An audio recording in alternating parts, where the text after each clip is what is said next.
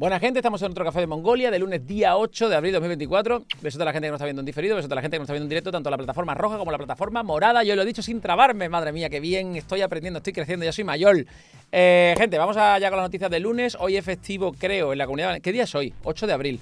No sé qué día es hoy. Bueno, hoy es algún día festivo en la comunidad valenciana o algo así. No sé por qué. Hoy es festivo. Eh, a mí no me han avisado. a mí no me ha llegado la circular esa de que es festivo hoy. Así que yo hoy, San Vicente. ¿Hoy San Vicente? Ah, hoy es San Vicente. Espérate, tengo los auriculares reliados. Hoy es San Vicente. Es que en Valencia tenemos dos San Vicentes. ¿Vale? San Vicente Mártir y San Vicente Ferrer. Entonces, uno es para la gente de la capital, ¿vale? Y otro es para la gente de los pueblos, por así decirlo. Lo resumo muy rápido, ¿vale? Entonces, la capital se celebra un día y el, resto se celebra otro. Entonces, San Vicente Ferrer. Hoy es, Ferrer. Em, dice Oscar, lunes sin Capi, así empezamos la semana. Pero sí, yo no pongo el lunes el Capi. Pero es que Capi capibara, de no el capitán. Hoy es festivo de los huevos morenos de alguien, dice Caledor. Ah, pues está muy bien eso. Bueno, buenas Álvaro por YouTube. Em, entonces, pues que sepáis que hoy es festivo, ¿vale? Así que yo voy a tener el mood de festivo. ¿Qué diréis? ¿Y cuál es ese? Pues es el mismo del resto del día. No cambia absolutamente nada. Bueno, dicho eso, dicho eso, hablando de que estamos en mood de festivo, ¿vale? Eh, buenos días, mamen. Venga, vamos a, vamos a, vamos a darle, vamos a darle pantallita completa. Ahí está. Vamos a empezar con la primera noticia. Vais a pasar esta noticia sido un poco la noticia del fin de semana. El ejército de Israel anuncia que retira sus tropas del sur de Gaza. Y diréis vosotros, bueno, bueno, bueno, bueno, bueno, bueno, bueno. Ya está, ya hemos ganado. No. Eh, ya hemos ganado, es una forma muy, muy abstracta de hablar, ¿no? Em, pero no, vamos a ver, esto ha sido porque se está diciendo, y recordad que aquí lo dijimos que hasta, Donald Trump ya se había puesto en contra de Israel, había dicho Israel no puede seguir con esta campaña, tiene que parar porque se está poniendo enfrente en contra a todos los países. Eh, como, bueno, Luis por YouTube. Como forma de geoestrategia es una, es una cutrada porque se está poniendo en contra a todo Dios, ¿vale? Se está convirtiendo en el enemigo del mundo. Entonces, tiene que parar. Cuando te lo dice Donald Trump, dices tú, tío, si me lo dice ya Donald Trump, que ese tío ya va a calzón quitado, imagínate cómo la cosa de mal para Israel desde el punto de vista geopolítico, ¿no? Bueno, pues al final Biden eh, ya, le ha dado, ya le ha dado un toque así en el hombro y le ha dicho, para, ¿vale? Porque ya sabes que Biden le comía el bullate a Israel, ¿vale? Y le ha dicho ya, para, para ya porque te estás pasando mogollón, ¿vale? Em, entonces, dice Chison, vale, me retiro del sur, pero me quedo en el centro y en el norte. Claro, se retira del sur significa que en el sur, donde está todo el mundo hacinado ahí, pegado a, a la pared, todo el mundo, oh, Dios mío, queremos salir de aquí, ¿vale? Pues dice, bueno, ahí lo mismo ya no hago nada más. Pero el norte y el centro, claro, yo todo eso, eso ya, eso lo reviento. ¿Vale? Entonces, claro. Esto es como una especie de. Bueno, para un poquito aquí, entonces se hace eco, ¿no? El ejército de Israel anuncia que retira sus tropas del sur de Gaza. Y es que espera, esperad a ver, esperad a ver lo que dice Netanyahu. Porque vais a flipar con Netanyahu, lo que dice Israel. No sé si le ha dicho Netanyahu, el ministro de Defensa o quien sea, ¿vale? Mirad lo que dice. El ejército de Israel ha anunciado su retirada de, las tropas de la zona sur de la Franja de Gaza en el mismo día que se cumplen seis meses del comienzo del conflicto entre Israel y Hamas.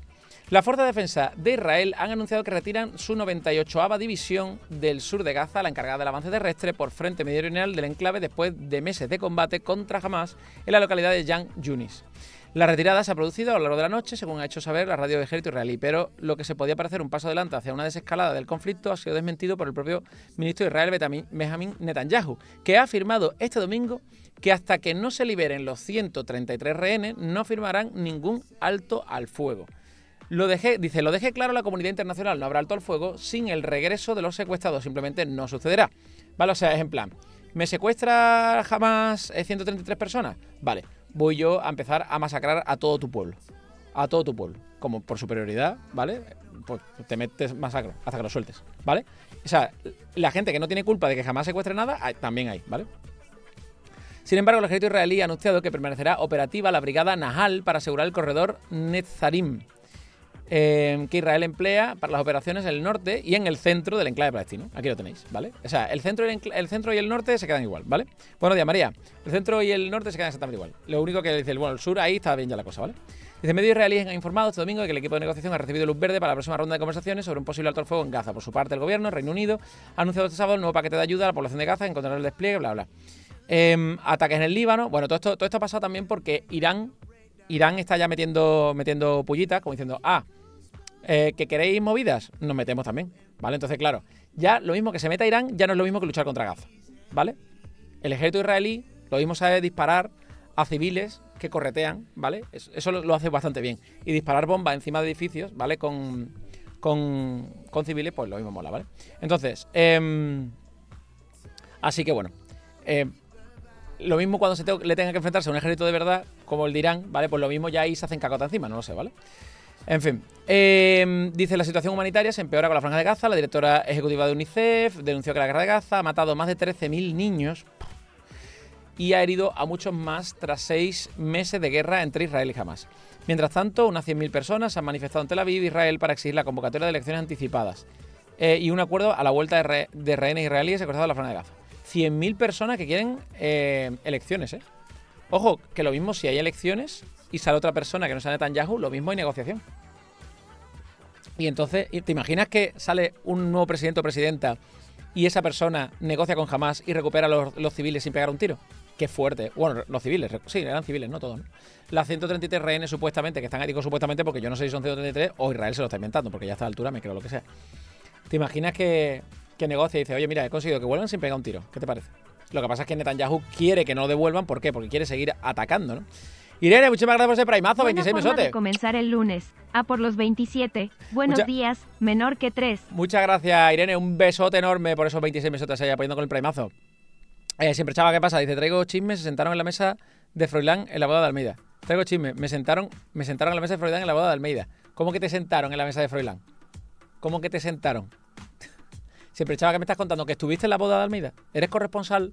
¿Eres corresponsal de la boda de Almeida? Siempre, chava. Lo digo porque esto... Si tenemos a alguien que ha estado ahí, necesito necesito, necesito confirmación, ¿eh? Siempre, chaval, no, no me vale, ¿eh? Fotos, fotos de, de algún cuñado bebiendo, ese tipo de movidas, ¿eh? Habría estado guapo, claro, claro. Yo necesito el tipo que le haya robado la corbata a uno, ¿sabes? Digo, mira, foto de la corbata que le robé a uno borracho perdido, ¿vale? Yo que sé, el carnet de, de militante del PP, de alguno de los que estaban por allí, eso hubiera molado también. Bueno, pues ya lo sabéis, ¿vale? Eh, eh, Israel, pues haciendo como que para, ¿vale? Vamos, vamos a decirlo así, está haciendo como que para. Eh, dice, bueno, me voy del sur, me voy del sur, ¿vale? Y para que Estados Unidos le dé cancha y vuelva otra vez a ser amigos, ¿no? Eh, El bastón del emérito, uf, ¿te imaginas robarle el bastón al emérito? Qué guapo, ¿eh? Eh, el marido de Espe iba torcidito, hay imágenes. Sí, yo, yo no he visto. Yo no he visto nada, ¿eh? Yo no he visto nada. Eh, o sea, yo he visto al- alguna portada, pero no me he puesto ahí a mirar vídeos ni cosas porque la verdad es que era todo tan casposo que me daba un poquito de cosas. Dice siempre, chaval, hay alta posibilidad de que esos rehenes ya no estén vivos, ya sea por los bombardeos, hambre o represalias de Hamas. A ver, Hamas ha liberado rehenes. A Hamas no le interesa matar rehenes, ¿sabes por qué? Porque entonces no tiene poder de negociación.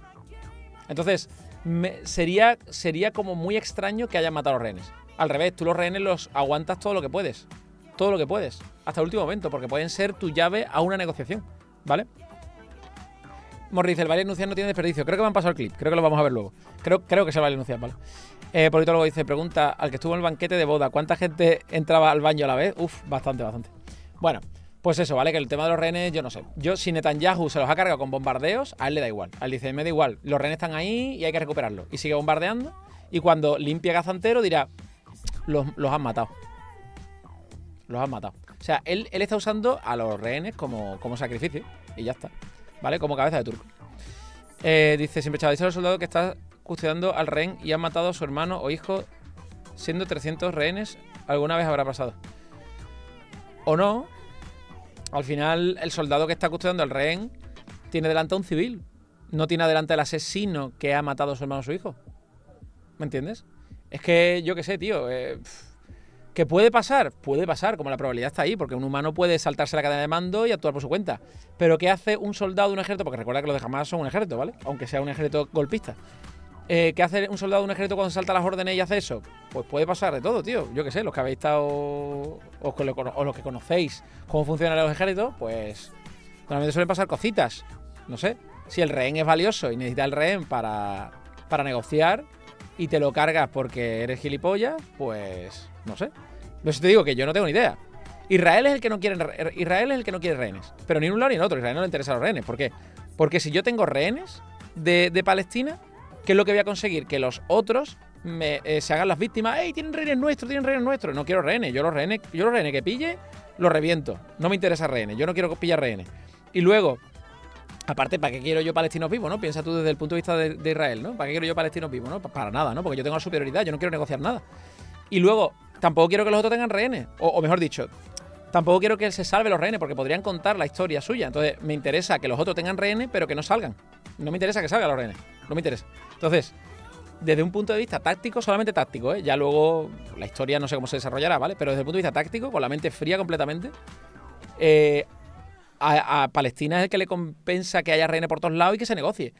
O sea, mantenerlos vivos. Israel, puramente táctico, es el que le interesa que tener que, que Palestina pille rehenes, que jamás pille rehenes, y, y que no negocie.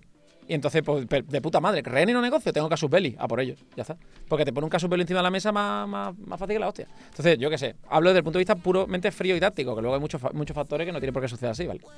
Estoy especulando. Bueno, dicho esto, siguiente noticia. Vale, ahora lo que me habéis pasado, eh, tengo que leerlo porque no he leído nada, no sé de qué va esto. Dice la socialista, o sea, alguien del PSOE, ¿no? Inés Rey, que no sé quién es, eh, la alcaldesa de La Coruña, vale, es la alcaldesa de La Coruña. Y portavoz del gobierno local. Pero la- ah, en Coruña tienen a alguien, tienen al PSOE. Pero escucha, escucha, escucha. Yo no sabía que en Coruña estaba el PSOE. Eh, resulta que en Coruña tiene una alcaldesa y es del PSOE, pero allí no estaba el PP. Yo hay algo aquí que me he perdido, ¿eh? ¿En en qué momento, en qué momento empezó a gobernar los socialistas en Galicia? Si Galicia es, feudo del PP eso de toda la vida. ¿Y tiene una socialista? Bueno, pues el periódico El Debate de Galicia dice, los- la socialista en Rey ocultó un informe y vetó una comisión de transparencia sobre irregularidades de su número 2. Ocultó un informe y vetó una comisión de transparencia sobre irregularidades de su número 2. Uf, ya estamos con los chanchullos. Ya hace cuatro años. Aquí siempre gobernó el PSOE, dice Chivas. Ah, sí, en Coruña siempre, sí. Dice político, ¿qué medio de comunicación es ese que se pone La Coruña y no A Coruña? Eh, pues el debate. No entiendo. Mm, vosotros y vosotras me diréis, no tengo ni idea. Em, dice Chisun, en las ciudades creo que gana el PSOE, ¿sí? Óscar dice, Ser es la alcaldesa de A Coruña, pero por lo que sea se le, se le coló la la. Vaya casualidad. Eh, por cierto, en Vigo también gobierna el PSOE. Ah, ¿también? Ah, vale. H dice, pero se llama A Coruña, no La Coruña. Así que eh, ya ves por dónde van los tiros. Ya. El panfleto del debate. Sí, no, panfletillo guay. Panfletillo guay. Pero me lo habéis pasado vosotros. Yo, no tengo ni idea, ¿vale? Esto creo que me ha pasado. ¿Quién ha sido? ¿JRO? No sé quién ha sido. Em, con el apoyo del BNG, ¿vale? En Santiago de Pontevedra gobierna el BNG. Ah, o sea que en las ciudades go- gobierna la izquierda. De alguna manera la izquierda. Ok. Liso dice, lee el cuerpo del artículo antes de sacar una conclusión, que ese tipo de periódicos tienden a... Ya tú sabes. Sí, sí, no, no, pero, pero si vamos a leerlo, vamos a leerlo. Vamos a leerlo. El, debate es peor que diario. Sí, sí, esto, por eso digo que esto hay que leerlo, ¿vale? Bueno, dice, el PP denuncia falta de transparencia y reta a la alcaldesa de A Coruña a denunciar, intento yo traducirlo, ¿vale? De A Coruña a denunciarles por difamación en los juzgados si lo que afirman no es cierto. Em, Vale, o sea, básicamente, básicamente, que Inés Rey ocultó un informe, ¿vale? Es una suposición del PP, ¿no? Entiendo yo. Y que vetó una comisión de transparencia sobre la regularidad de su número 2, ¿es también una, una intuición del PP o es verdad que lo, que lo vetó? ¿Vale? Eh, como dijo ya el presidente, vamos por partes, sí, sí, José. Bueno, y el PP dice, ah, pues si no es verdad, denúnciame. ¿Vale? Denúnciame. Bueno, no sé, lo mismo sí. No lo sé, ¿eh? Dice, las presuntas irregularidades, presuntas, ojo con la palabra ya, ya, ya, cayó, ¿vale? La, la segunda palabra de- del artículo es presunta, ¿vale? Dice Chiva, dicen algo que no pueden probar y para probarlo tienen que, tiene que hacerlo ella, claro. Es en plan, no, no, denúnciame tú. Si tú crees que eso ha pasado, denúnciame tú, ¿no? No, denúnciame tú si crees que es mentira. Es que eso no funciona así, ¿vale? Denúnciame tú si crees que yo he hecho algo ilegal, punto, ¿no? Las presuntas irregularidades cometidas por el jefe de urbanismo del Ayuntamiento de La Coruña continúan generando polémica en la ciudad gallega. Las presuntas irregularidades cometidas por el jefe de urbanismo del Ayuntamiento. Presuntas. ¿Pero qué irregularidades? Eh, José Manuel Lague Tuñas compró un local que convirtió en dos pisos. Lo hizo en tiempo récord y todo apunta que comenzó las obras sin tener permiso para ello. Ahora, la alcaldesa Inés Rey ha impedido que se revise en comisión informativa lo ocurrido y ocultado además un informe clave necesario para denunciar lo ocurrido. Vale. Esto de que ha impedido que se revise en comisión informativa lo ocurrido, ¿cómo lo ha impedido? Ha dicho no, tengo derecho a veto, no sé, ¿cómo va el rollo? Y, y un informe clave necesario para denunciar lo ocurrido. Vale, ¿y cómo lo ha ocultado el informe? ¿Dónde está ese informe? Porque que yo sepa, se le puede pedir al gobierno eh, una explicación y lo tiene que dar. Fue en el año 2022 cuando Lague adquirió el inmueble. Tiempo más tarde, un vecino del bloque denunció que se habían comenzado unas obras sin contar con la licencia necesaria. El caso tiene especial relevancia al ser socialista el encargado superior de los temas urbanísticos de La Coruña. De A Coruña. Además, tal y como reveló el debate, la policía local acudió al lugar donde certificó que los trabajos habían dado comienzo en una fecha en la que aún no se había concedido autorización. Em, pero ¿cómo, ¿cómo se sabe? ¿Cómo lo sabe? O sea, Me está diciendo, me está diciendo que el periódico El Debate ha hablado con la policía local de A Coruña y la policía local de A Coruña le ha, le ha filtrado los informes donde dice la hora de comienzo, o sea, el día de comienzo de la obra, y luego el debate también ha conseguido el papel del ayuntamiento donde dice el día de comienzo de la licencia. Eh, ¿cómo, ¿Cómo ha conseguido tantas cosas el debate? A ver, no, no, no, no están enseñando ningún papel, ¿eh? Eso es, es su palabra. Em, dice algodón, presunto por recomendación del Superdepartamento Legal. Sí, sí, ya veo. Politólogo dice, es que también pone ahí arriba Orense y no Ourense. Sí, no, esto está, está, traducido al castellano de bien, politólogo, es que no lo entendéis. Así lo querría Franco. Eh, Oscar dice, Raquel Tejero es quien escribe el artículo. En Twitter es miel, por eso de la imparcialidad del periodismo. Ah, vale, ok. Dice, tras el revuelo ocasionado, el PP pidió a Rey la mayor transparencia. Eh, tras el revuelo, ¿qué revuelo? El revuelo de, la fecha de, empiezo de obra, ok. Para eso necesitaron consultar todos los documentos relacionados con lo sucedido. Eh, al hacerlo, los concejales populares detectaron que el expediente de disciplina urbanística exigía un informe en el que se hacía referencia a otro de técnicos municipales que no estaba incluido. Este era concretamente el que propone incoar eh, reposición de legalidad frente al Large Tuña por realizar obras y licencias. Además, ordenó su paralización inmediata. Al apreciar tal laguna en el informe, el PP solicitó verlo, a lo que la alcaldía se negó. O sea, básicamente me están diciendo que el problema que tienen contra el, contra el PSOE y contra este concejal de urbanismo es que se ha hecho una obra muy rápido sin licencia. ¿no? Ha convertido un local en dos pisos. Que también eso tiene huevos, ¿eh? Que eso no, no- no está exento de que tenga huevazos.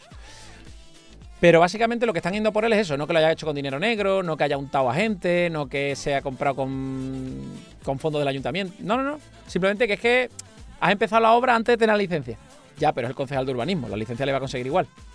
¿No? Un poco, ¿no? ¿Verdad? Que al final. Y tiene dinero para pagársela. O sea que realmente es un poco tocar los huevos, ¿no? Yo eh, estoy entendiendo yo que lo que quieren es tocar los huevos. No sé si hay algo ilegal ahí detrás. Aparte de empezar antes de la obra antes de la licencia, pero bueno. Em, dice Julio Pay, habría que ver también si el modo de actuar habitual en la petición de licencias. Claro, no lo sé. A ver, por ejemplo, yo he tenido que pedir licencia de obras y desde que tú vas y haces el papeleo, ya si, si está preaprobado, ya tienes permiso para empezar la obra. ¿Vale? Y si luego, por lo que sea, por lo, no sé por qué, eso, pero que eso va por comunidad, entiendo, ¿eh? Si luego, por lo que sea, no te dan el permiso o te lo retiran por algún motivo, tienes que parar la obra. ¿Vale? A Eso sí que es inmediato. Pero en el momento en el que tú vas, porque yo tuve que ir en persona, en el momento en el que tú vas a, a pedir la licencia, está preaprobada ya, ¿vale? Y te, dan, y te dan un papel. Y en principio ya está. Eso se tramita, pero no. Dice, hay obras que puedes iniciar antes de tener licencia de Oscar, correcto, claro. Entonces, yo realmente fui el mismo día que, empezaron las obras. Pues yo fui por la mañana, yo ya tenía todos los papeles preparados. Yo fui por la mañana, eh, pedí la licencia, me dijeron cuánto tenía que pagar. Y lo pagué, me dieron, la- me dieron el resguardo y me dijo, ya puede empezar. Si viene algún vecino, algo, yo, pues yo pregunté, digo, con esto ya puedo empezar, ¿verdad? Dice, sí, si viene algún vecino, eh, dices que está en trámite y este es el papel, que demuestra que está en trámite. Ya. Pero ya puede empezar. Má- Más, que entiendo que eso lo hacen por agilizar, para que no, para que una demora administrativa no demore realmente los trabajos y las obras. Porque entiendo que hay gente que empieza con tiempos muy limitados y cosas así, ¿vale? Y como tú también pides la licencia por una serie de días, porque la licencia eh, no, es infinita, es solamente por una serie de días, pues no puedes estar ahí toda la vida eso esperando, ¿vale? Entiendo yo, entonces, lo mismo no hay ningún problema aquí, ¿eh? Es que, repito, no sé cómo se hace en Coruña, ¿eh? No tengo ni idea, o sea, en, Gal- en Galicia. Dice, eh, pero esta no es la primera eh, puerta que la alcaldesa cierra la transparencia sobre el asunto. Esta misma semana, Raya ha impedido que se, debat- eh, se debata en pleno los detalles de las posibles irregularidades cometidas por su número 2. La realidad es que el reglamento permite a la alcaldesa evitar dicho trámite, pero hasta el momento la regidora había permitido que se debatiesen asuntos eh, de control del gobierno municipal en pleno. Entiendo que Entiendo que si no hay ninguna sospecha de duda sobre irregularidades cometidas por su número 2, entiendo que diga, hasta que no traigáis algún tipo de prueba o algo de que ha pasado algo que tiene que ver con el ayuntamiento, ¿no? Por ejemplo, el piso de Ayuso.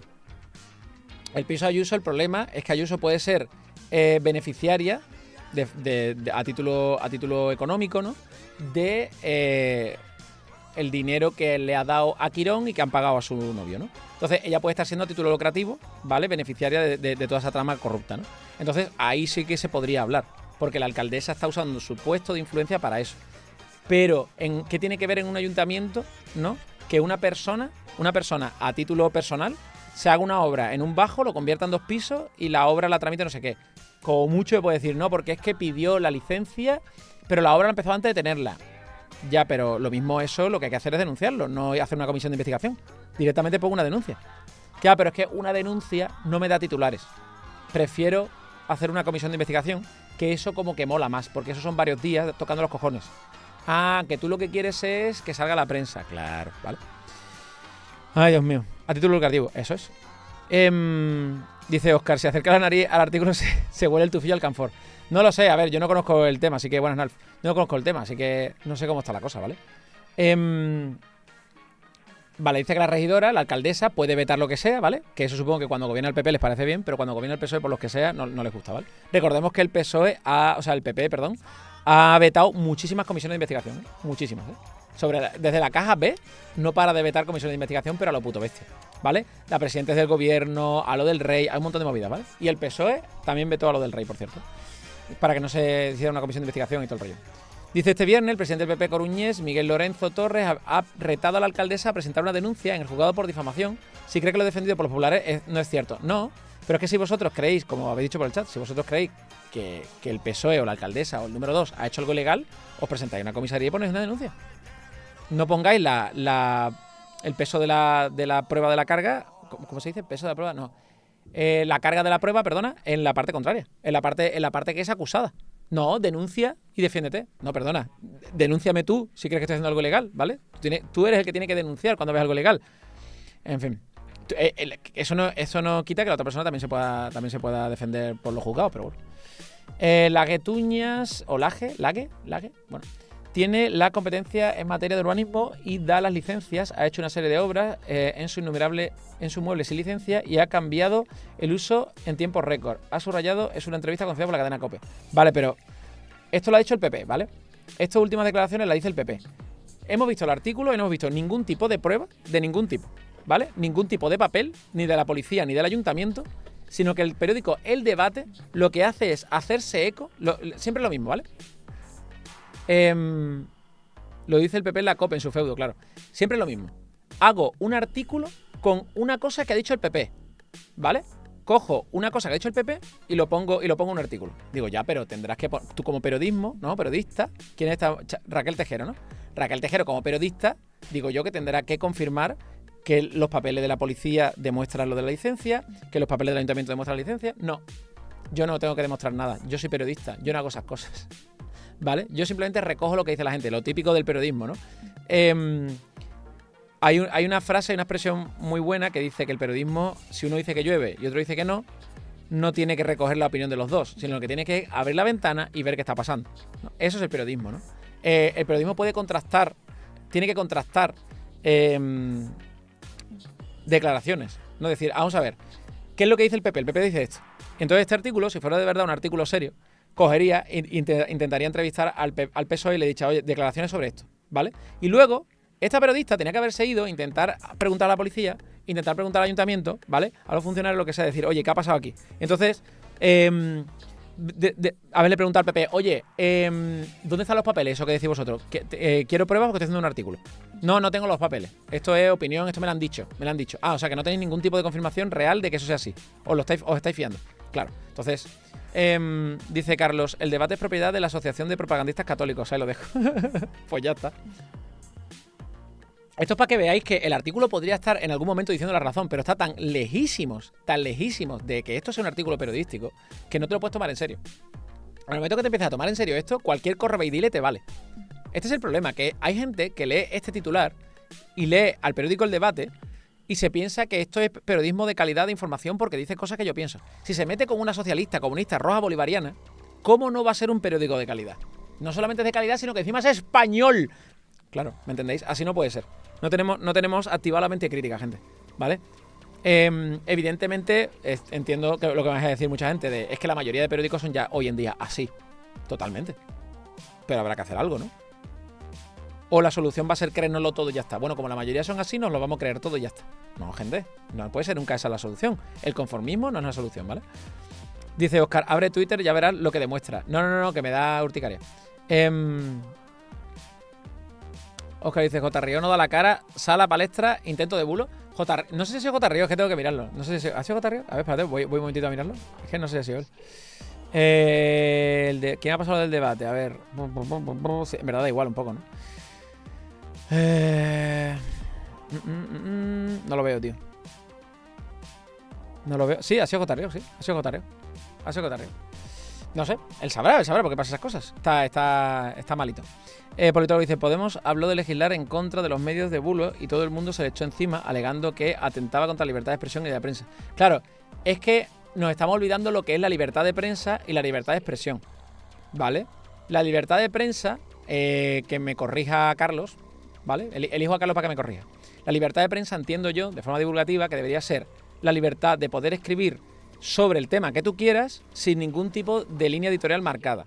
¿Vale? O sea, yo quiero hablar, por ejemplo, de la mujer del presidente. Me estoy poniendo un tema espinoso, ¿vale? La mujer del presidente. Pero no lo tengo por qué hacer en la línea editorial que me marque el medio. ¿Vale? Libertad de prensa, en plan, yo puedo escribir de lo que quiera y como quiera, ¿no? Entiendo yo. Siempre que esté dentro de, eh, de los límites de la libertad de expresión. Claro, y ahí es donde vamos con la libertad de expresión. ¿Qué es la libertad de expresión?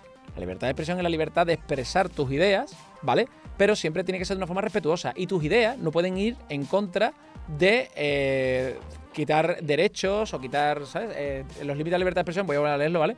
Eh, no pueden fomentar el odio, no pueden menoscabar derechos o no pueden atentar contra la dignidad de las personas, ¿vale?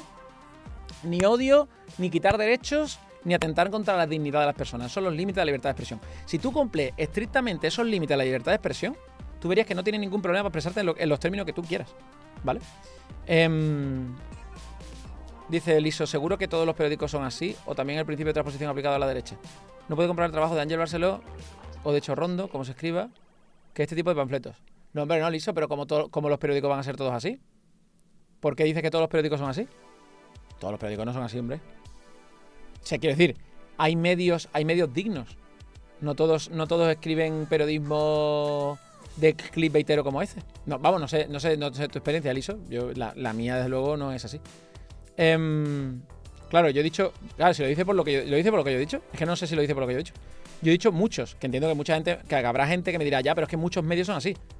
Y es que es verdad, muchos medios son así. ¿Cuántos? No he dicho el porcentaje, pero para mí muchos, eh, no sé. El 75% de los medios tienen línea editorial y no tienen libertad de prensa porque no pueden escribir de cualquier tema, por ejemplo. Y encima usan el clickbait, es que son muchas cosas. Tío. 75%, voy a, voy a decir, así, me lo invento. Pero sé que es un porcentaje muy loco. Em, no, no, no decía eso, Lisa. Lo bueno es que esto está grabado. Eh, dice Carlos, más, más que nada porque he medido mis palabras. O sea, yo no quería generalizar. No quería decir que todos son así porque me da mucho coraje. Conozco, conozco periódicos que no. El Salto Diario, por ejemplo, es uno de ellos. Salto Diario es un periódico muy, muy digno, que hace buen periodismo y que ha sacado artículos cojonudos. A veces muy largo, pero es que a veces el periodismo exige escribir largo, así que bueno. El- lo contrario sería clickbaitero, así que prefiero largo. Carlos dice, bajo mi punto de vista, el único límite debería ser la mentira y los discursos de odio. O sea, que tú crees que menoscabar derechos o atentar contra la dignidad está, permitido siempre que no sea lenguaje de odio. Lo digo, lo digo porque lo de, la, lo de la dignidad y lo de menoscabar derechos también me parece importante, ¿eh? no solamente el odio. Sé que, sé que lo mismo tú lo englobas dentro del odio, todo, todo eso es odio, pero bueno, eh, que a veces los lenguajes de odio puede que no atente contra la dignidad de las personas ni que menoscabe derechos, sino que sea, no sé, un lenguaje de odio un poco más sutil. Creo que esos son discursos de odio, por eso tú lo metías lo mismo, ¿no? Vale, perfecto. Bueno, dicho esto, dicho esto, ¿vale? Seguimos, seguimos siendo noticias. Esto que nos sirve un poco también para identificar medios que, que bueno, ¿vale? Em, dice, orden de desahucio del fondo buitre Cerberus a una abuela y su nieto en Madrid tras pagar la vivienda durante 20 años. Vale. Esto deben ser los verdaderos ocupas, ¿no? Este es, el, este es el- famoso problema de la ocupación en España, ¿no? Una abuela y su nieto que llevan pagando el piso 20 años y eh, un fondo buitre, Cerberus en este caso, los va a echar. Esto debe ser los famosos ocupas, ¿no? Y por eso desocupa, supongo que era ahí a echar a la abuela de su nieto, evidentemente, ¿no? ¿O no? ¿O no? Este, ¿No? Lo digo porque si la proporción, me lo voy a inventar un poco, pero creo que no estoy muy lejos. Si la proporción de desahucios, ocupaciones, ¿vale? Desahucios por fondos buitre contra ocupaciones contra inmuebles es mm, 101, y diréis vosotros, ¡ala! 101, ¿cómo va a haber 100 desahucios por cada ocupación? Por cada ocu- ocupación real, sí. La que se inventa desocupa, ¿no? Pero la de ocupación real, sí. ¿Vale? Eh, no son ocupas, son inquiocupas, claro, también, ¿verdad? Em, entonces, eh, dice. A ver, esto tiene trampa, ¿vale? Tiene trampa, porque los echa después de 20 años de pagar el piso, pero tiene un porqué, que no te lo dice en el titular y yo creo que lo dice aposta para crear como el clickbait, ¿no? De, la abuela y su nieto se van del piso. Y es que la abuela y su nieto tuvieron que, creo que, rehipotecar la vivienda y entonces rehipotecaron pero no pudieron pagarla o algo así, ¿vale? Dice Ligia, una mujer al borde de la jubilación pelea contra el fondo de inversión Cerberus y Banco Sabadell para no ser expulsada de la casa que compró y tuvo que dar al banco tras problemas económicos, ¿ves? La tuvo que dar al banco. Eh, dice, cada día vuelvo a casa con la duda de si podrá abrir la puerta. Dice, Ligia, de 66 años, durante una llamada telefónica, después de tanta lucha negándose a abandonar su hogar, teme lo peor cada vez que regresa al trabajo. Hace 17 años, la mujer compró una casa que al tiempo se vio obligada a dar al banco, aunque conservó un contrato de alquiler. La entidad bancaria terminó vendiéndola a un fondo buitre que ahora quiere desociarla mediante la no renovación del contrato. O sea, vale, no es que, ah, vale, no es que no pueda pagarlo, es que simplemente no renueva el contrato de su propia casa. Vale. A ver, un capitalista neoliberal te diría, es el mercado. La abuelita, la abuelita tuvo problemas, tuvo que vender la casa y empezó a pagar un alquiler. Ah, amigo mío, ahora ya es el mercado. Claro, pero volvemos a la misma de siempre. Las casas son bienes de primera necesidad. ¿Deberíamos incluirla al mismo nivel que cualquier eh, bien de mercado? Es decir, es lo mismo, es lo mismo eh, una casa que, yo qué sé, un teléfono, un reloj, una camisa, un micrófono, es lo mismo. Se debe, se deben de negociar y, se rigen bajo las mismas reglas, porque se rigen bajo las mismas reglas, entonces está pasando lo que está pasando, ¿no? De los especuladores, las grandes empresas haciendo negocio y todo el rollo. ¿Por qué? Porque resulta que no tienen las mismas reglas. El mercado no aplica las mismas reglas sobre los micrófonos que sobre las casas. ¿Por qué? Porque las casas, al ser un bien de primera necesidad, tú sabes que siempre va a haber demanda. Los micrófonos no. Los micrófonos, cuando ha habido un boom de streamers, ¿vale? De repente ha habido muchísima demanda. Y cuando ha habido un boom de teletrabajo, de repente ha habido muchísima demanda. Gente que no tenía micrófonos, todo este rollo. Entonces, los micrófonos, ¿vale? Según el mercado, según la estacionalidad, según moda, según cosas, ¿vale? Pero una casa no. Una casa, lamentablemente, no. Una casa siempre tiene, siempre tiene demanda, ¿vale? Entonces, como no cumple las mismas reglas, ¿vale? A la hora de la demanda, tampoco debería cumplir las mismas reglas a la hora de la oferta. Deberían tener unas reglas específicas a la hora de la oferta, ¿no? La oferta debería estar regulada de alguna manera, ¿no? Em, Dice con Maca, las viviendas, las primeras viviendas sí son un derecho. Las primeras, sí, sí, sí, no, no, yo hablo de la primera vivienda, ¿eh? Yo hablo de la primera vivienda. O sea, yo no estoy hablando de que tú tengas derecho a tener 16 casas. Eh, no, hombre, no, no te vamos a estar facilitando la vida para que te compres 16. Te facilitamos para que te compres la primera. Y al momento que te compres la primera, ya la segunda te la curra tú. La segunda te la curra tú, la segunda tú con tu dinero te la compras con tu esfuerzo. Pero la primera, todo el mundo debería tener más facilidad para acceder a la primera. Es lo que yo pienso. La primera vivienda debería tener facilidad a todo el mundo.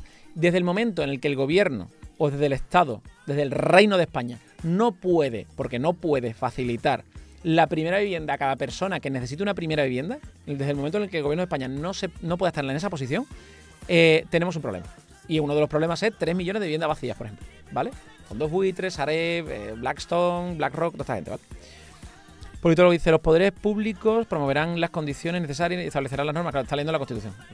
Las normas pertinentes, eh, para hacer efectivo este derecho, regulando la utilización del suelo de acuerdo con el interés general para impedir la especulación. Correcto, politólogo. Eso lo dice la Constitución, pero esa parte de la Constitución, específicamente esa parte de la Constitución, se está limpiando el culo con ella desde hace. desde siempre. Comunista, dice Oscar, a tope. Esto no tiene nada que ver con el comunismo, ¿eh? yo no estoy hablando de socializar los medios de producción. ¿Vale? Lo digo porque a veces nos confundimos de lo que es el comunismo. Socialicemos medios de producción. Listo, dice, recuerdo que comprar guillotinas es más barato que la entrada a un piso, ya sé, claro, es verdad, las guillotinas suelen ser bastante baratas. Encima, fíjate tú, las puedes poner en la plaza del polo. Em, bueno, eh, hace 17 años la mujer compró una casa que al tiempo se vio obligada a dar al banco, bla, bla. Por ahora los propietarios ni siquiera atienden a la oferta de compra que ha hecho la mujer para intentar solucionar el embrollo y conservar el domicilio. Ligia compró un piso en Fuenlabrada 2007 y el 2 de febrero de ese año entraba a la vivienda como propietaria. Ya, pero ¿por qué el fondo buitre le iba a vender a esta mujer el piso si ha comprado seguramente todo el edificio? ¿Sabéis para qué ha comprado todo el edificio? Pues para hacer putos Airbnb. Este es el efecto Venecia, ¿vale? La gentrificación famosa, ¿vale? Compro bloques enteros, cojo el edificio entero y lo convierto en Airbnb, lo convierto en hoteles, lo convierto en residencias turísticas y a tomar por culo. Eh, recordad el barrio este de Sevilla que el 60% son residencias turísticas. Ya está. Esto está pasando en mogollón de, de países y en España con más intensidad y en muchísimos barrios. Entonces, la gente que no lo vea simplemente es porque está en una posición de eh, comodidad en la que no lo sufre, ¿vale? Ya sea porque vives en una zona donde eso no va a suceder nunca porque no es una zona turística y entonces te da exactamente igual que los demás sufran, te da exactamente igual. No, pues ya que el gobierno haga algo, no, bueno, pues ya que la gente vote otra cosa, si es que también votáis cada cosa, ¿vale? Gente, o gente que tiene un poder económico tan grande que precisamente juega en esa misma liga. En la liga de eh, compro yo también piso, también especulo, ¿vale? Ese tipo de movidas. El resto de gente lo está sufriendo o lo sufre alrededor, lo tiene cerca, ¿vale? Em, Carlos dice, yo tengo un colega en Málaga que él es el único vecino de toda la calle. Hostia, tío. Qué putada estar en una calle donde eres el único vecino, ¿eh? Uf. A ver, que algunos dirán qué suerte, pero es que lo mismo el próximo eres tú. En fin. Em, dice, compró el piso en Flamada el 2 de febrero de ese año entra a vivienda como propietaria. Por aquel entonces la mujer firmó una hipoteca con el Banco Sacadell y adquirió un inmueble por 156.000 euros. Una casa de tres habitaciones cerca del metro y la principal línea de autobús. Pero la crisis económica tenía otros planes y desbarató el futuro de la mujer, que está solo unos meses de jubilación. Ahora se niega a abandonar el piso y aunque la propietaria ha dado por rota la negociación y el contrato expiró hace tres años, ella aún envía todos los meses el alquiler como señal de buena voluntad. No quiere ocupar la vivienda, quiere tener un contrato y tener garantizada la estabilidad. Claro. La pobre mujer sigue pagando, pero en fin. Dice Simbo, en Sevilla este fin de semana se ha puesto el grito en el cielo por el turismo, porque ha sido la Copa del Rey. Aquí los futboleros han venido a por la vida y fiesta y han dejado toda Sevilla hecha mierda. Em, pero el centro, alrededor de la Giralda, una cantidad de mierda asquerosa. Sí. Y por eso no me gustan los eventos deportivos masivos, ¿vale? Deberían hacerse en un descampado. Como que dice, aunque no vivas en una zona turística, te puede afectar si una zona dispara los precios, la gente que no pueda comprar en esa va a ir a comprar tu zona y va a subir también. Podría ser. Carlos dice, él tiene suerte de que la suya, entre comillas, no le pueden echar, es heredada de la abuela de pareja y está pagada. Vale. No le pueden echar, le pueden hacer la vida imposible, pero no pueden echar. Bueno. Em, a ver si está algo por aquí. El banco se quedó con la vivienda porque se vio forzada a vender la casa en dación de pago, ¿vale? El banco se quedó con la vivienda y le permitió mantenerse en el piso un alquiler social que mantuvo hasta que el Banco Sabadell se decidió la propiedad con una macrooperación llevada a cabo en 2018. Entonces la entidad bancaria formó, junto a Cerberus, eh, fondo de inversión en Estados Unidos, uno de los grandes tenedores del mercado inmobiliario, la sociedad Coliseum Promotor, Promontoria, de la que la compañía norteamericana es dueña del 80%. En total, Sabadell se deshacía así de 61.000 pisos, ¿vale? En su mayoría casas, en caso, eh, bueno, inmuebles, ¿vale? En su mayoría casas. En el caso de Ligia, el piso cambió de propietario mientras ella aún vivía eh, con su nieto, del que quedó a cargo desde que tenía nueve meses. Una vez el piso quedó en manos de Cerberus, uno de los fondos buitre más grandes del mundo, los nuevos dueños no quisieron oír hablar del alquiler social. Claro, si es que lo compran no para eso, evidentemente. El contrato tenía fecha de caducidad y la mujer sin alternativa habitacional no tuvo réplica por parte de la compañía, que no negoció y pidió salida. Es una situación muy dura y horrible, dice la mujer, tal, no sé. Eh, este perfil se ve repetido en muchas ocasiones. Cerberus ya no hace contratos de alquiler, las vacía y las vende a otros fondos, grandes y pequeños compradores. Están de retirada para hacer caja. Madre mía, tú. Cerberus Gigante acumula viviendas. Como esta mujer, son muchos quienes se vieron eh, cambiados de dueños cuando Cerberus entró en el mercado inmobiliario en España. BVA montó Divarian junto con el Fondo Buitre y Banco Santander creó Manzana Global Licata. Solo con estas dos operaciones junto con el Banco Santander que afectó a Ligia, Cerberus adquirió en 2018 de un plumazo 150.000 inmuebles por todo el país. ¡Dios! Madre mía. En la actualidad Cerberus tiene alrededor de 2.448 viviendas solo en la Comunidad de Madrid. Solo le superan eh, Renta Corporación, CaixaBank, CBRE y el Ayuntamiento de Madrid. Y Blackstone, el principal propietario de la ciudad. Madre mía. O sea, em, Cerberus tiene en, en, la Comunidad de Madrid, Cerberus tiene... Es que, claro, es que mirad qué barbaridad, ¿eh? Cerberus tiene prácticamente 2.500. Renta Corporación tiene 3.000. CaixaBank tiene 4.000, muy mucha, casi 5.000 y CBRE otras 5.000. Y el Ayuntamiento de Madrid tiene 7.000 y Blackstone tiene más de 13.000. Es que tócate los huevos, tío. Entre todas, anda que no suman viviendas, loco. ¿Qué pasaría si todos estos pisos se ponen a la venta? Se ponen a la venta a la vez. Eh, se ponen como alquileres sociales. Algo, ¿vale? Como que estamos hablando de urbanizaciones completas, claro. Estamos hablando y de bloques enteros y de un montón de movidas, claro. Madre mía. Eh, y qué es lo que. Bueno, al final no hay solución para la mujer. Dice al final que, la mujer sigue esperando, ¿vale? Bueno, pues esto, pues lo que decía, esto deben ser los verdaderos ocupos, ¿no? 150.000 em, viviendas al tacatá, pues sí, José. Eh, no sé, expropiese, claro, a eso es lo que estamos. A eso es lo que estamos. Si las viviendas están vacías, no son de nadie, pertenecen a los bancos y a la comunidad, ¿por qué no se coge? Todo, tío, se expropia y se mete en viviendas sociales.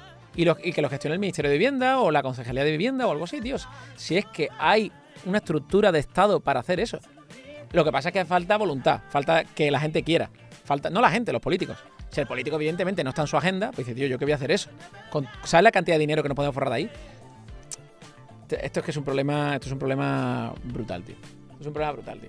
Y esto habría que meterse. La. la, la mm, ¿Cómo, cómo iba a decir yo? La mm, capacidad de vivienda deberían ser una cosa que deberían estar por encima de los colores políticos, tío. O sea, los derechos fundamentales deberían estar encima de los colores políticos. Que entre el PP o que entre el PSOE me da igual. La agenda política en España debería ser siempre intentar dar una solución habitacional a todo el mundo, tío. A todo el mundo. Eso de, no, es que. Es que no te, no te lo puedo permitir, meritocracia. Gata cagada. Me pongo negrísimo esta mierda. Bueno, y eso que yo ya tengo mi hipoteca, yo ya me olvido. Pero es que, claro, he estado tantos años, tantos años de alquiler sufriendo esta mierda. En fin. Siguiente noticia. Eh, ¿Esto qué es? Oscar dice, y el siguiente paso es alquilar lado de cama. Por habitaciones ya se hace, claro. Dice, no acepta un no por respuesta. ¿Por qué Botswana amenaza con enviar manadas de elefantes a Alemania? ¿Cómo? Que la amenaza con enviar manadas de elefantes a Alemania, Botswana. ¿Por qué? Dice Botswana que alberga la mayor población de elefantes del mundo, ya ha donado 8.000 de estos animales a Angola y ha ofrecido otros 500 a Mozambique. Por segunda vez este año, Botswana ha amenazado con enviar miles de elefantes a Europa.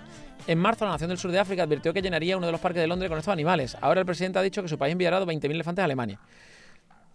¿Pero cómo que enviará 20.000 elefantes? Las advertencias se deben a la disputa diplomática entre el Reino Unido y Alemania, que estudia la idea de imponer límites más estrictos a la importación de trofeos de caza con un contexto de preocupación por la caza furtiva. ¿Por qué amenaza Botswana con enviar elefantes a Europa? En marzo, el ministro de la Fauna y Flora Silvestre de Botswana amenazó con enviar 10.000 elefantes a Hyde Park, en Londres, para que el Reino Unido pudiera probar a convivir con ellos. El gobierno británico planteó la posibilidad. Ah, vale. Que Botswana lo que dice es que, oye, es que los elefantes hay que cazarlos. Porque si no los cazas, se extinguen. Claro. Entonces, ah, que me va a impedir que se cacen. Vale, te voy a enviar yo 10.000 elefantes para que pruebes a convivir con ellos. ¿Vale? A ver, a ver si los cazaba o no los cazaba. ¿No? Eso entiendo que es un poco el point asqueroso. Em, dice el gobierno británico planteó la posibilidad de impedir a los cazadores de safari británicos importar trofeos de sus presas. Alemania ha expresado ahora la posibilidad similar, lo que ha provocado más reacciones en contra de la nación africana. Botswana afirma que la prohibición de importar trofeos de caza supondrá un golpe económico para los ciudadanos de reducir los ingresos de los safaris. O sea, que me está diciendo que en Botswana se realizan muchos de los safaris se realizan precisamente para poder matar elefantes. Y que si se prohíbe, Alemania e Inglaterra prohíbe que los ciudadanos ingleses y alemanes vayan a Botswana, cacen elefantes y traigan los trofeos de caza, ¿vale? Se va a resentir la economía de Botswana. ¿Es eso lo que me están diciendo? Serán hijos de puta, tío. Serán hijos de puta. Además, las campañas de conservación han provocado el auge de la población de elefantes y la caza en los medios vital para controlar su número, declaró el presidente tal. O sea, si tienes sobrepoblación de elefantes, que no lo sé, lo dudo en verdad que tenga sobrepoblación de elefantes, pero bueno. Si tuviera sobrepoblación de elefantes, piensa por qué. Porque el elefante, eh, como todo recurso natural, se regula solo. Es decir, cuando hay exceso de elefantes, se come la vegetación, ¿vale? O los depredadores de elefante, que no sé si. Supongo que sí que tendrá depredador de elefante, pero solo cuando son pequeños, esas cosas. O cuando son muy viejos, ¿no? Supongo, un, elefante. Eh, Simbo dice: El otro día leí que los elefantes han perdido su hábito de cuando son viejos y lo hace para la manada alejarse para morir. Porque hay tanta caza que apenas llegan a viejos y por falta de práctica. Han perdido el hábito. No sé cuánto cierto es. Joder, sería brutal si eso fuera así, ¿eh? Están modificando el comportamiento de una especie entera. Eh, Maca dice, de España podemos enviarle mérito para que ayude, sí o sí. Politólogo dice, en caso de haber sobrepoblación de elefantes, hay otros medios de control como la esterilización, por ejemplo, ¿no? Em, dice Alejandri Yu, dicen, el caso es que la caza para los safaris, para que esto regule la caza y se dediquen a criarlos para ello, si acabas con esto ya no regula nadie, pero seguirán cazando legalmente llegando al exterminio seguramente. No lo sé, no sé. Pero vamos, me parece, me parece tremendo, ¿eh? Me parece tremendo que lo que le estén diciendo a los ingleses y a los alemanes, oye, no censuréis los trofeos de caza furtiva. ¿En serio estáis pidiendo eso? Así es como se acabó con el último rinoceronte blanco, loco. Así es como se acabó. ¿Por qué es legal la caza de elefantes en Botswana? Botswana introdujo la prohibición de cazar trofeos en 2014, pero revirtió la decisión en 2019 y comenzó a emitir cuotas anuales de caza en medio de la presión de las comunidades locales que dependen de los ingresos de los cazadores internacionales. La creciente población de elefantes ha hecho que las manadas causen estragos en el país, dañando viviendas, bebiendo agua de las tuberías, alimentándose de los cultivos y pisoteando a la gente hasta la muerte. Ya, pero lo mismo, eso es porque estamos entrando en el hábitat natural de los putos elefantes. ¿Vale? Esto es como cuando los cazadores se quejan del lobo.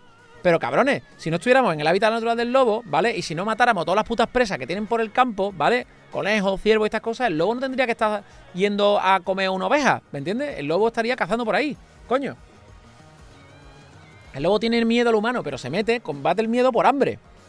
vamos a intentar restaur- restaurar el equilibrio natural que tiene de depredador y presa y entonces ya no nos tenemos que preocupar o nos tendremos que preocupar bastante menos y ya si sucede algo esporádico pues ponemos prevención. Pero lo que no podemos hacer es inundar la zona natural del elefante y decir, es que el elefante bebe el agua de la tubería. Por lo mismo ahí antes había una charca que el elefante iba a beber, tío, ¿qué me estás contando?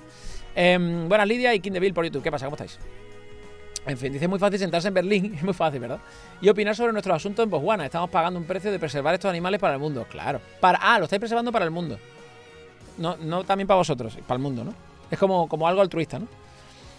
Dice con un número de elefantes que ronda actualmente los 130.000, Masisi afirmó que no es una broma. Botswana, que alberga la mayor población de elefantes del mundo, ya ha regalado 8.000 de estos animales a Angola y ha ofrecido otros 500 a Mozambique. Nos gustaría ofrecer un regalo así a Alemania, declarado tal que no aceptaría un no por respuesta. Alemania es el mayor importador de trofeos de elefante africano de la Unión Europea según un informe 2021 de Human Society International. Alemania, el mayor importador de trofeos de cuernos de elefante y cosas así. Ay, Dios, qué horror, tío. En fin. Yo es que lo de la caza, de verdad, lo veo un- una barbaridad, pero a nivel de bárbaro. Lo veo una barbarie. Una barbarie. En fin, seguimos hablando de barbarie, seguimos siguiendo noticias. Un joven británico grave tras precipitarse de una altura de 4 metros en Magaluf. Eh, ¿Qué creéis que estaba haciendo a una altura de 4 metros? ¿Creéis que lo mismo estaba limpiando cristales? ¿Creéis que estaba repasando, por ejemplo, eh, el sellado de las ventanas por fuera? ¿Pensáis que lo mismo estaba pintando una barandilla de, metálica? con- la le estaba dando un protector anti-humedad a una barandilla metálica. Quizás estaba comprobando las canaletas, las bajantes de agua por fuera por la fachada del edificio. O sea, intento pensar qué puede ser lo que ha provocado que un joven británico se precipice, se, precipice, se precipite tras una altura de 4 metros en Magaluf. ¿Qué estaría haciendo en la fachada del edificio? ¿Verdad? Oscar dice, un traje de cazadores se los caza... Un traje de cazadores. Se los caza y si sobreviven se les permite acceder a un safari. Dios. Chino estaba haciendo las tareas de clase. Hoy tocaba física, definición de la gravedad, claro. Quizás estaba rescatando un gatete. Rescatando un gatete también puede ser, ¿no? Vamos a verlo, vamos a verlo porque, claro, nosotros pensamos eh, que puede ser cosas buenas, ¿no? Vamos a, vamos a verlo. Un joven de origen británico, 27 años de edad, 27 años, mira, en el club de los 27. Ha resultado herido de gravedad tras precipitarse a una altura de 4 metros en la localidad eh, calvianera de Magaluf, en Mallorca. Según informó el SAMU 061, los medios de comunicación, eh, el, el suceso ha ocurrido en torno a las 6.15 horas de este sábado, cuando un joven de nacionalidad británica, 26 años de edad, se ha precipitado a la altura de 4 metros. Como consecuencia de este suceso, se ha movilizado el SAMU, una ambulancia medicalizada, bla, bla. Todo, el- eh, todo tras que desde la central de coordinación, tal, tal. No, pero no te dicen. Ah, pero no te dicen nada. Oh, no sabemos qué ha pasado. Bueno, pues vamos, vamos a suponer que es un héroe y ha, y ha rescatado un gatete y se ha jugado la vida. El gatete está bien, pero él ha resbalado y se ha caído. Vamos a suponer que es eso, ¿vale? Em, Mike dice, estaba comprobando si efectivamente las ondas longitudinales de las partículas se mueven perpendicularmente. Yo creo que sí. Eh, Julen dice, creo que acabo de ver el vídeo. Bajaba entre balcones. Pero bajaba entre balcones, ¿por qué? ¿Estaba limpiando canaleta, rescatando un catete o limpiando la ventana por fuera? Eh, Julen, danos datos. ¿Puede ser un intento de suicidio? No, hombre, no. ¿Qué va? Un intento de suicidio. Tampoco, tampoco, tampoco. tampoco. Es un héroe. Es un héroe claramente, ¿vale? Eh, faltaba saber alcohol en sangre. Bueno, bueno. Eh, minucias, Oscar. Minucias. El alcohol en sangre, minucias. En este caso, minucias. Bueno, esto ya sabéis que los que no sois de España os lo explico. Eh, todos los veranos, ¿vale? Eh, los británicos vienen a España, ¿vale? Y hacen una cosa que se llama balconing. No es broma, balconing. Y es que se tiran desde el balcón del hotel a la piscina del hotel. Por las alturas que toque eso, ¿vale? Así de loco están. Entonces, ¿qué pasa? Que todos los años se matan, se matan gente. Se matan, sobre todo chavales, con un nivel de alcohol en sangre bastante interesante. Em, pues eso. ¿Vale? Esto es. Lo, explico para la gente que no sabe de España y no está entendiendo las bromas. ¿Vale? Lo digo porque puede decir, oye, ¿y las bromas estas que vienen? Lo mismo está resgatando un gato de verdad. En Magaluf es famoso porque hacen otra cosa. Se tiran, se tiran desde los balcones. Em, dice, el gatete cayó de pie sin problema. El, el- el inglés cayó de lado porque iba borracho, claro.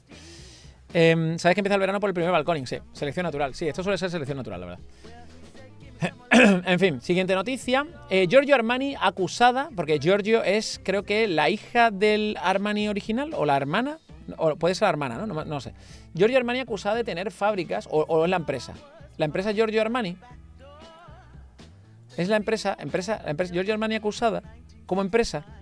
No sé si habéis visto la historia de Armani, pero Armani realmente es una familia. Lo que pasa es que no sé si sigue siendo una familia o la han vendido en bolsa y ya hay un CEO, una CEO, yo qué sé. Eh, Julian dice, parece que presentaba síntomas de esquizofrenia. En el vídeo se aprecia que estaba asustado y mientras bajaba entre balcones perdió el equilibrio y cayó.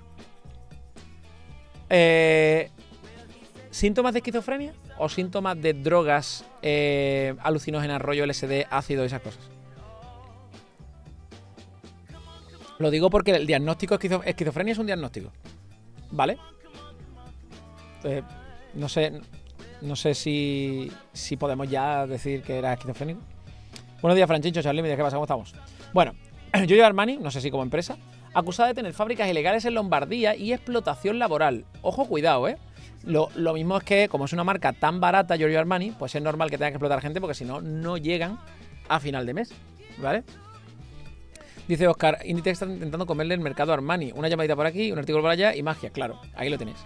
El Tribunal de Milán ha puesto a Giorgio Armani Operation bajo la administración judicial. La empresa no verificó adecuadamente las condiciones laborales de las empresas a las que subcontrató la producción de bolsas y cinturones revendidos por miles de euros.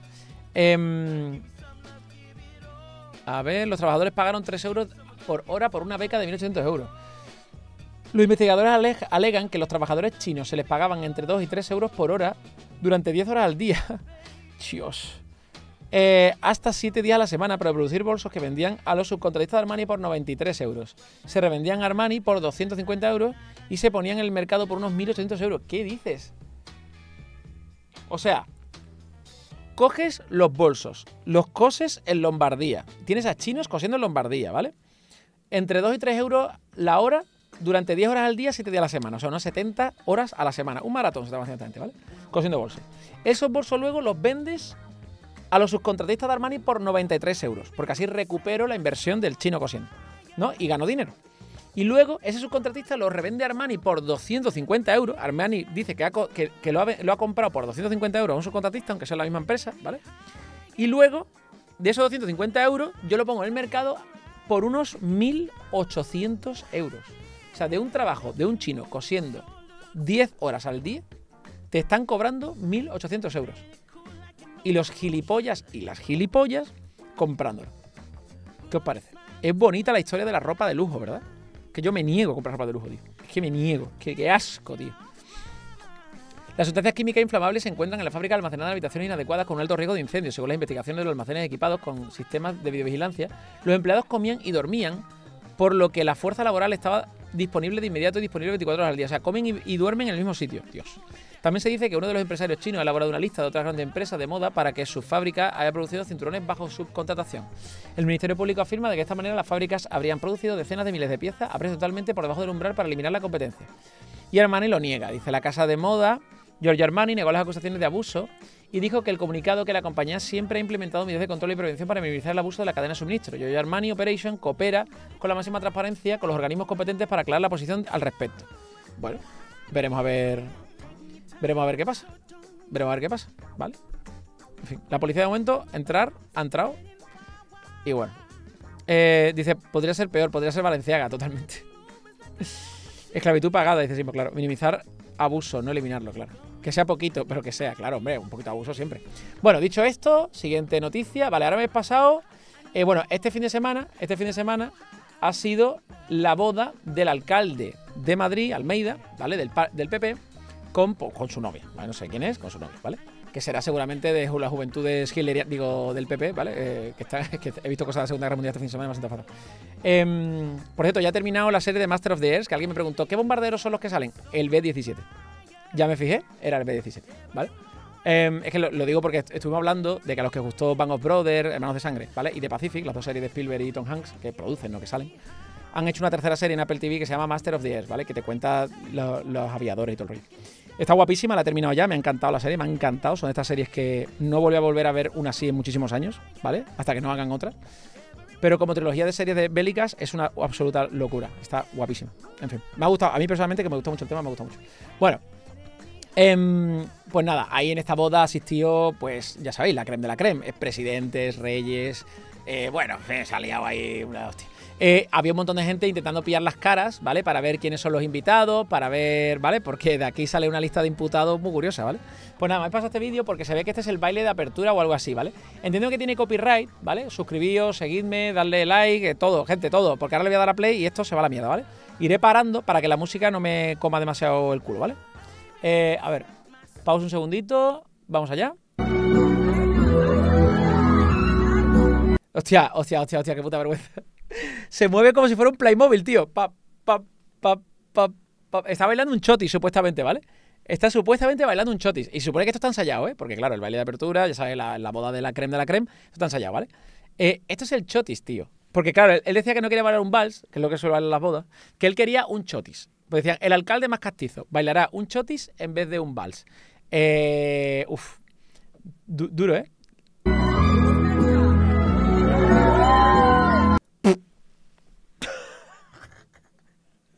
¡Casi eso!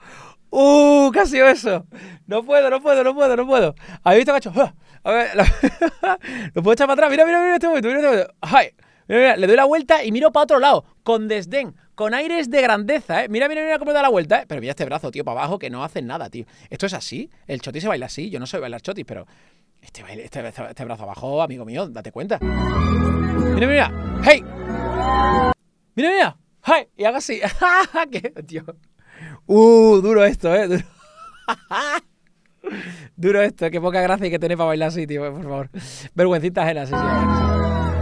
Pero es que mira, mira, mira.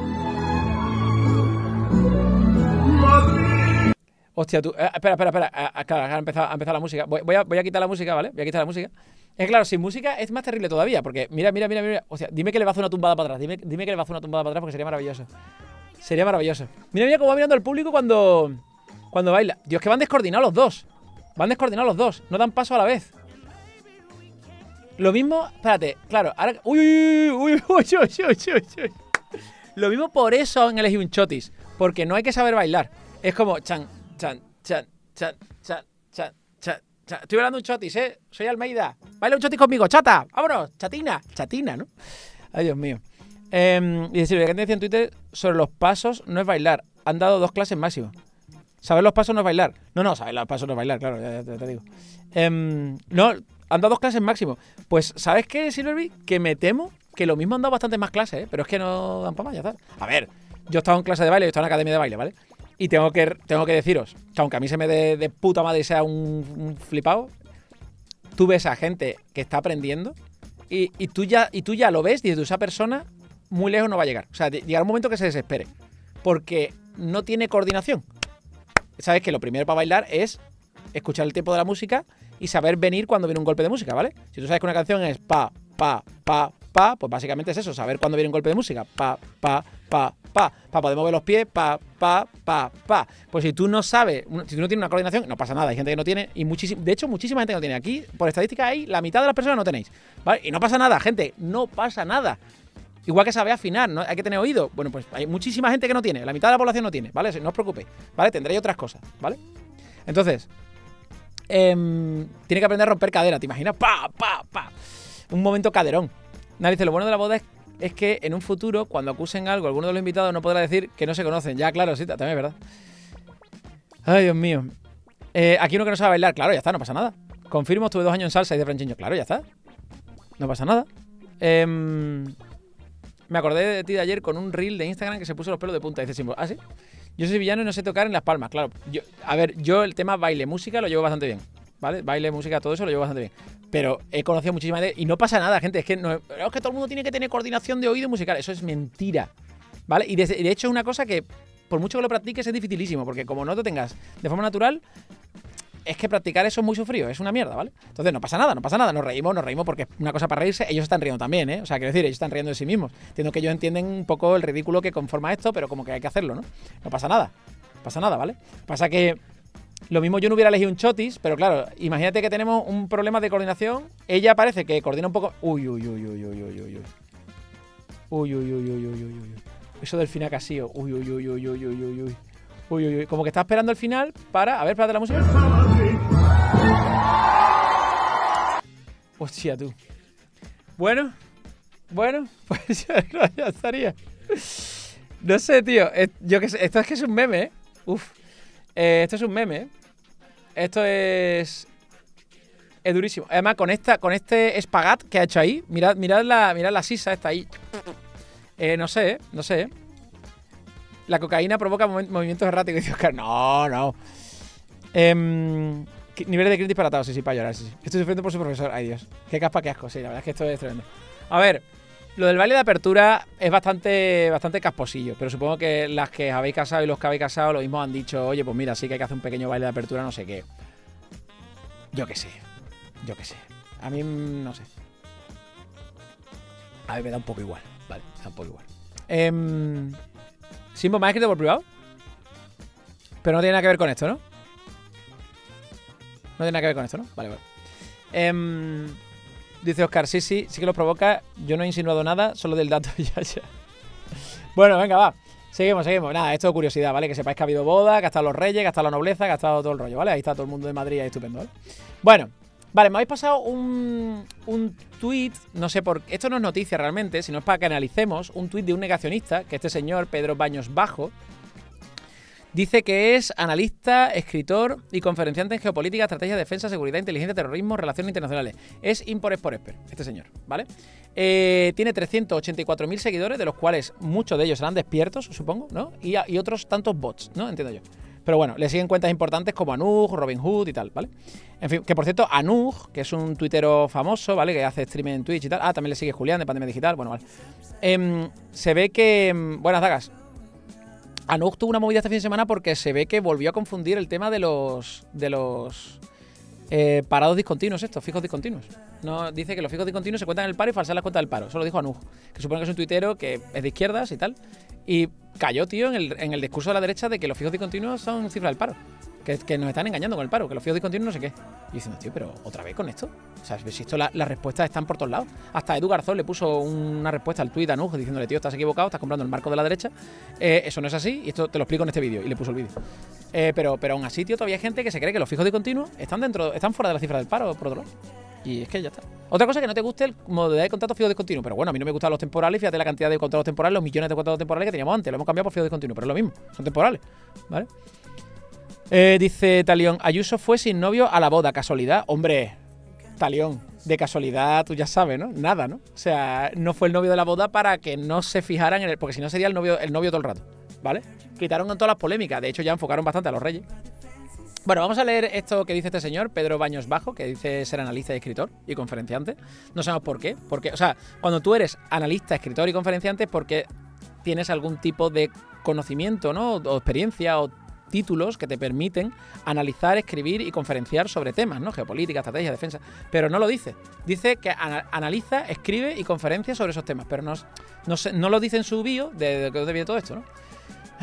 Pero bueno, dice, la tiranía oculta de los amos del mundo, la Agenda 2030. Ya, ya estamos con la Agenda 2030, ¿vale? Eh, por si alguien no sabe lo que es, la Agenda 2030 son una lista de buenas intenciones que se propuso la ONU em, para que todos los países lo firmaran y eh, intentáramos hacer el mundo mejor más allá del 2030, ¿vale? Es decir, em, es ex GEMAT. ¿Qué es GEMAT, Brodía? No sé lo que es. ¿Juez o algo así? ¿Qué es GEMAT? Inteligencia pone, sí, sí. Irene dice, según lo que dijo Ayuso, Talión era para no quitar protagonismo a los novios. Claro, claro. Lo de, lo de que no fuera el novio, claro. Buenas, Evitas. Bueno, em, la Agenda 2030 es eso, ¿vale? Yo ya le enseñé aquí lo que era la Agenda 2030. La Agenda 2030 la podéis ver. Jefe de Estado Mayor. Ah, es jefe. Pedro Baños Bajo era jefe del Estado Mayor de Defensa.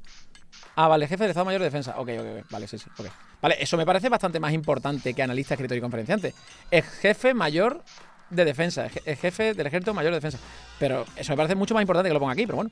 Em, bueno, el, el- la Agenda 2030, ¿vale? la Agenda 2030 son, pues eso, eh, cero hambre en el mundo, eh, agua para todo el mundo, no, la discriminación, una serie de cosas, ¿vale? El Cuidar el medio ambiente. Son una serie de movidas que son interesantes y que yo creo que todo el mundo debería estar de acuerdo en eso.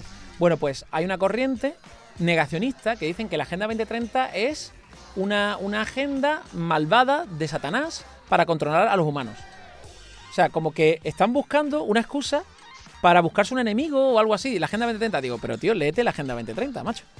Dice, militar, coronel, GEMAT es un puesto, es un puesto de peso. Sí, sí, lo sé, lo sé. Lo sé. Ok, ok. Eh, sí, jefe mayor del Estado, hombre, claro. Bueno, pues dice que la tiranía oculta de los amos del mundo Agenda 2030. Dice, tras los aparentes nobles 17 objetivos de desarrollo sostenible de la Agenda 2030, a los que en principio nadie se puede oponer, ex ¿cómo que nadie se puede oponer? Te puede oponer todo el mundo. ¿Cómo que nadie se puede oponer? Nadie debería oponerse porque son buenos. ¿Vale? Son buenos. Pero no me jodas. Eh, te puedes oponer como te puede oponer a cualquier cosa. Existen propósitos mucho menos confesables. Vale. Se ve que este señor sabe la verdad. ¿vale? Se ve que este señor, este señor tiene pinta de que ya no hay nadie al volante, ¿vale? Este señor ha llegado a un punto en el que no hay nadie al volante, ¿vale? O le han robado la cuenta de Twitter o algo está pasando aquí.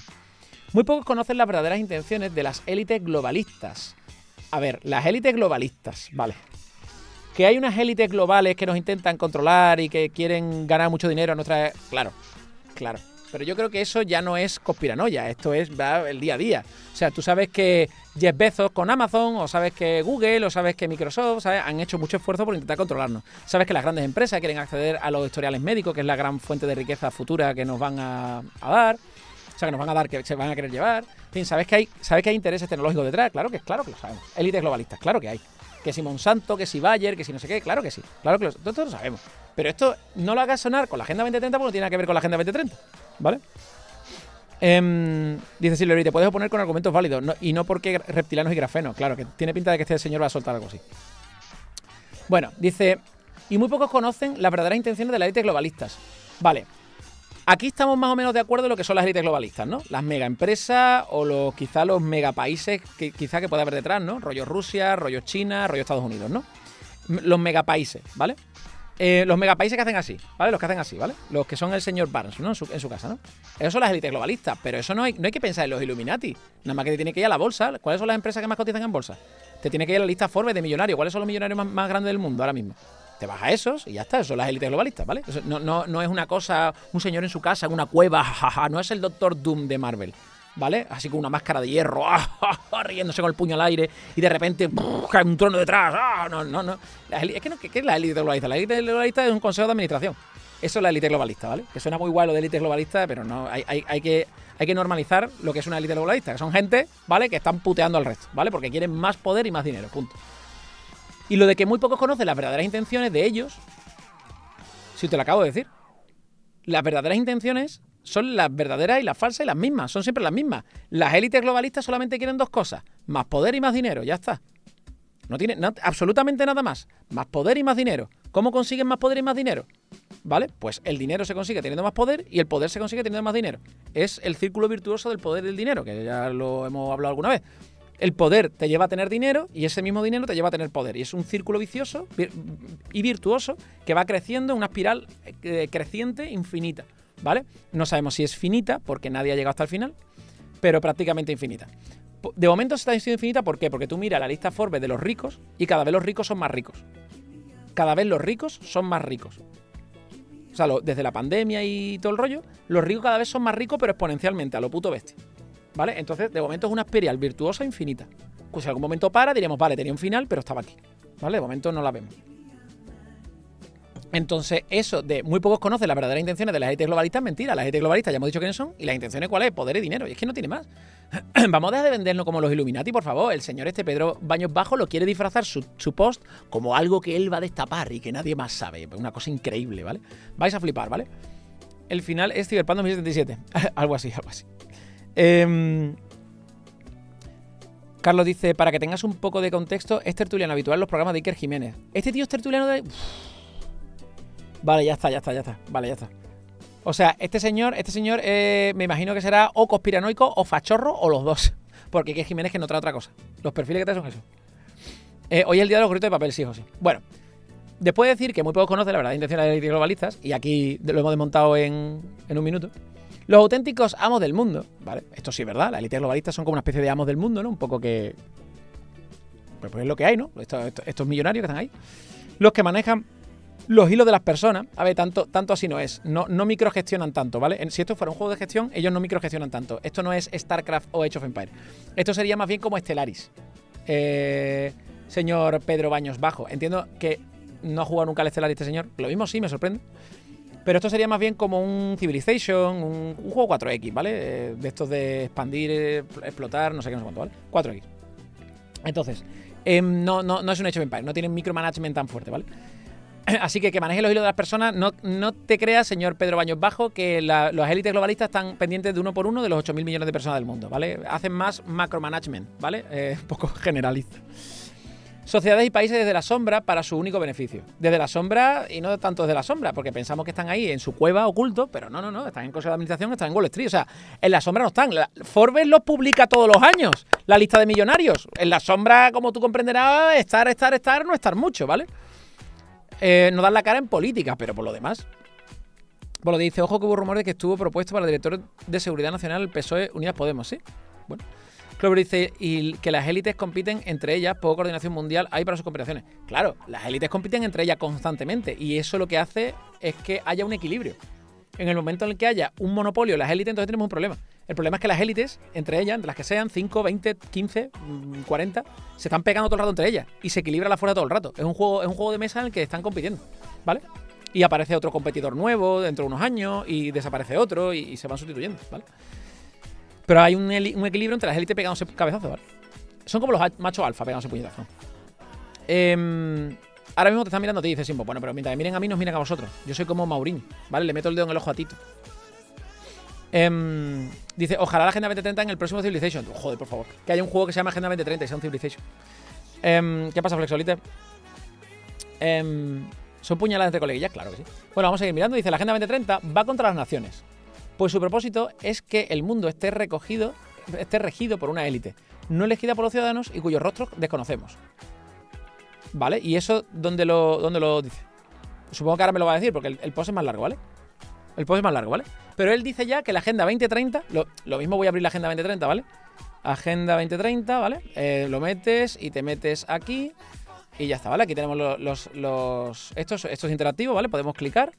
Eh, pues lo leo rápidamente. Fin de la pobreza, hambre cero, salud y bienestar, educación de calidad, igualdad de género, agua limpia y saneamiento. El 7 es energía eh, asequible y no contaminante. El 8 es trabajo decente y crecimiento económico. El 9, industria, innovación e infraestructura. El 10, reducción de las desigualdades. El 11, ciudades y comunidades sostenibles. El 12, producción y consumo responsable. El 13, acción por el clima. El 14, vida submarina. El 15, vida de ecosistemas terrestres. El 16, paz, justicia e instituciones sólidas. Y el 17, alianza para lograr los objetivos. ¿Vale? Ya está. Esto es. ¿Vale? Y luego están explicados dentro de cada uno, están explicados los microobjetivos, ¿vale? Lo que los países deberían hacer, por ejemplo, para acabar con la pobreza, para el hambre cero, para y bienestar, bla, bla, ¿vale? Em, dice, ese hombre ha leído la Agenda 2030 que no era, claro. Ya, ya, ya, ya, ya. Yo estoy viendo ya por dónde va este señor, pero bueno. Este señor dice que la Agenda 2030 va contra las naciones. De momento, al revés, ¿no? Va o sea, va, a favor de... Si quiere decir que va contra las naciones es porque va a favor de la gente, quizás, pero bueno. ¿Qué son las naciones si no son su gente, no? Em, pues su propósito es que el mundo esté regido por una élite. A ver, yo aquí no veo que el objetivo sea, o sea, es un punto 18 que no he visto, y es que todo esto esté regido por una élite. Pues como hasta ahora, ¿no? O sea, quiero decir, ¿ahora estaba regido por el pueblo o seguimos regidos por una élite? Lo digo porque lo mismo que gobiernen políticos es una élite. Y al final, esa élite la ponemos nosotros. Entonces, ¿nos estamos obligando nosotros a que nos rijan élites? ¿Somos nos- ¿Son las élites las que nos rigen a través de nuestra voluntad? no cambiaría nada. O sea, ¿qué, qué está cambiando? No está cambiando ninguna forma, forma de democracia ni absolutamente nada. En fin, este señor es que yo creo que está viendo un poco Illuminati, ¿no? Eh, y cuyo rostro desconocemos.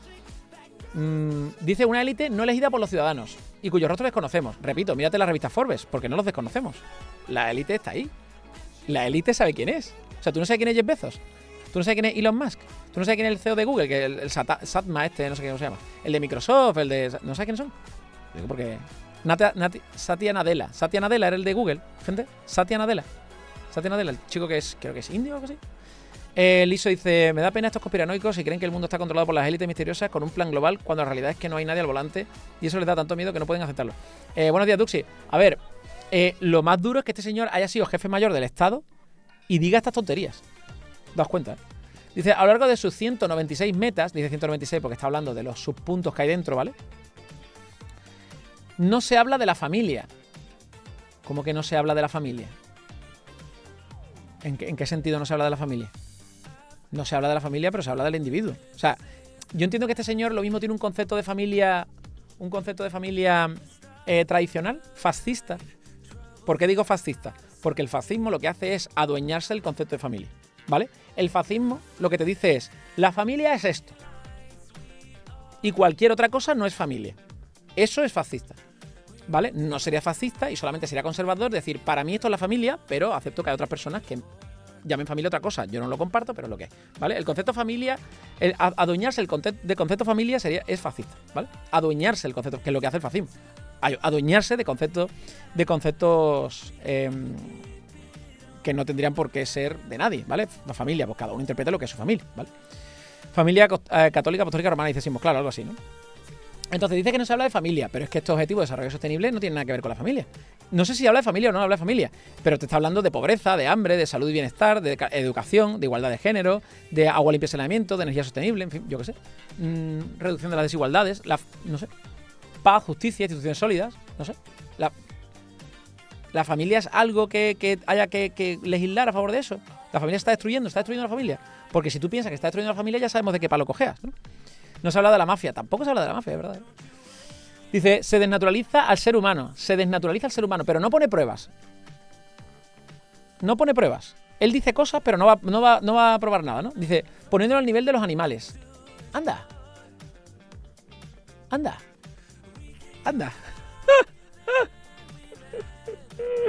pero no pone pruebas. O sea, dime qué artículo dice esto. Dime qué artículo eh, porque no se habla de la familia, esto no es prueba de nada, ¿vale? Repito, si hay algo que hay que legislar con la familia, proponlo, pero en principio, ¿vale? Y lo mismo sí que habla de familia, ¿eh? lo mismo lo busco y sí que habla de familia. De hecho, esto tiene un buscador, creo. Es que no lo sé, ¿eh? Objetivo de desarrollo sostenible. Si doy aquí, ¿salen todos? Aquí, a ver, familia. Si pongo familia, no sé qué saldrá. ¿Es esto? Segunda oportunidad de biología. Ah, no, pero esto son noticias. No, no, yo quiero buscar dentro de esto. ¿Puedo buscar dentro de esto? Ah, no, pero esto es entrar uno por uno, ¿no? Tengo que entrar en cada uno y buscar en cada uno. Claro, es que esto. Es que esto habla de desigualdades entre países, tío. De la familia no entiendo yo como un objetivo de desarrollo sostenible. No lo sé. ¿No? Si está hablando de, hambre y estas cosas, no lo sé, ¿eh? Pregunto, ¿eh? Me, coge un poco. Me coge un poco. No sé, bueno. Es que estoy, intentando encajar porque este señor le echa en falta a la familia aquí, no sé. Entiendo que por sus concepciones conservadoras. Bueno, dice que, le pone al ser humano, se desnaturaliza al ser humano poniéndolo a nivel de los animales, pero no explica por qué, ¿vale? Dice, se dice de acabar con la pobreza, pero se olvida mencionar a los paraísos fiscales. Pero tío, vamos a ver. Ay, Dios mío. Em, los paraísos fiscales. O sea, esto del objetivo de desarrollo sostenible no es una forma de legislar. Los objetivos de desarrollo sostenible no son una ley, ¿vale? Los paraísos fiscales ya hay leyes contra ellos y ya cada país hace su propia legislación, ¿vale? Que entiendo yo que los paraísos fiscales a mí tampoco me gustan. No, a mí tampoco me gustan, ¿vale? Pero lo mismo lo, está olvidando. O sea, no menciona la familia, no menciona los paraísos fiscales, ¿vale? Puedo estar de acuerdo en que esas cosas nos importan, ¿vale? De alguna manera. ¿A alguien le puede importar esas cosas? Perfecto. Pero lo mismo, los objetivos de desarrollo sostenible no son el lugar donde ponerlo, ¿vale? Eh, está metiendo en una coctelera todas las cosas que no incluyen y dice, ah, pues como no incluye esto, los 17 objetivos a la mierda. ¿Vale? Eso no es, no es lo que deberíamos dilucidar de aquí, tío. Dice donde, la, de verdad se encuentra el dinero. Porque no dice nada de los paraísos fiscales que es donde de verdad se encuentra el dinero. O sea, este señor está un poco Iker Jiménez, ¿eh? Este señor está un poco Iker Jiménez. A partir de ahora estar Iker Jiménez es una posición mental. Está un poco Iker Jiménez, ¿eh? En fin, dice la Agenda 2030 es una tiranía. Me hubiera encantado que hubiera puesto ejemplos de artículos. Este artículo menciona que no sé qué, no sé cuánto, y estoy en contra de este artículo por A, B y C. Pero no, dice que a lo largo de sus 196 metas, o sea, como diciendo, lo que voy a decir ahora, desestima las 196 metas. Primero, no se habla de la familia, por tanto ya las 196 anteriores es mierda. ¿Perdona? Sí, sí, sí. Las 196 anteriores no valen nada, porque como no hablan de familia, ah, ok. Se, desnaturaliza al humano poniéndolo a nivel de los animales. Vale, perfecto, yo quiero estar al nivel de los animales. Me encantan los animales. Me gustan más incluso que las personas. No tiene nada de malo. Pero eh, para ti, por lo que veo, sí que es malo. Así que dime en qué momento se hace eso. Ponme la lista de, metas que desnaturalizan al ser humano poniendo a nivel de los animales. Vamos a ver tu opinión de lo que es desnaturalizar al humano y ponerlo a nivel de los animales, ¿vale? De todas maneras, no me fío a nadie que para él ponerle ese a nivel de los animales es algo como peyorativo, ¿no? Eh, en fin. Pero bueno, y luego dice que se dice acabar la pobreza, pero se olvida de los paraísos fiscales donde se encuentra la verdad el dinero. O sea, acabar con la pobreza, pero no atacando los paraísos fiscales. Que los paraísos fiscales son un tema a tratar, por supuesto que son un tema a tratar. Y son un grave problema a tratar. Pero lo mismo no los desarrollos sostenibles. Los desarrollos sostenibles dicen que hay que acabar con la pobreza. ¿Cómo? Pues cada país debe decidir cómo. ¿Me entiendes? Ay, Dios mío. Dice Simbos, como no habla de cómo voy a pagar mi hipotequita, no me valen nada. Claro, a Simbos no le vale porque no habla de su hipoteca, lógicamente. Aquí cada uno viene a hablar de su libro, ¿no? Bueno, dice, coge algo de lo que podemos estar de acuerdo, estar en contra de las fiscales, pero lo mezcla con objetivo de la pobreza, claro. Em, falta argumentación por todos lados, claro. Y no me va a poner ningún ejemplo de lo que está diciendo. Ninguno, ¿vale?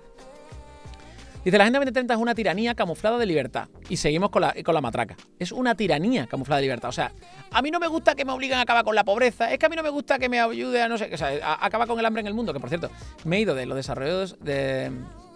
Me he ido de los desarrollos sostenibles y no me, no me deja volver a. Quería, quería ver esto como lo he visto antes, pero no lo he visto. 17 aquí. No, me vuelvo a traer aquí, tío. No sé por qué me trae esta página. Bueno, no me gusta que, no me, gusta que me hable de estos objetivos, ¿vale? Es una tiranía, camuflada de libertad, pero mm, no lo entiendo. Mm, porque es una tiranía. Si estamos hablando de que tú puedes no querer aceptarlo, pero son buenos objetivos, ¿no? O sea, básicamente la Agenda 2030 es los países intentando pues, poner de acuerdo en 17 objetivos que podrían ser buenos para el mundo. Acabar con el hambre, tal, no sé qué. Y de repente sale gente diciendo que es una tiranía. Digo, tío, estás mal de la cabeza, ¿eh? Em, yo creo que es la intención de buscar un enemigo común que tienen los negacionistas esto, ¿vale? Quieren buscar un enemigo común, a falta de guerras, queremos un enemigo común. ¿Cuál? La Agenda 2030, ya está, ¿vale? Dice, una farsa para dar mayor poder a los ya poderosos y quitarnos a los ciudadanos, a los que nos ponen bajo la bota implacable los dueños del planeta. Vale, pero eh, ponme un ejemplo. ¿Cómo, ¿Cómo es una tiranía camuflada de libertad? ¿Cómo es una farsa para dar poder a los poderosos? La Agenda 2030. ¿Cómo le da poder a los poderosos? Explícamelo. No, eso no lo sé. Ya, pero es que estás afirmando una cosa que requiere grandes pruebas, al principio de Sagan, ¿no?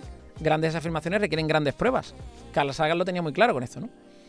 Y quitarnos a los ciudadanos, a los que nos ponen bajo eh, la bota implacable de los dueños del planeta. Vamos a ver. Este señor ha sido eh, jefe, jefe del ejército mayor, ¿no? Jefe mayor del Estado, no sé qué, ¿no?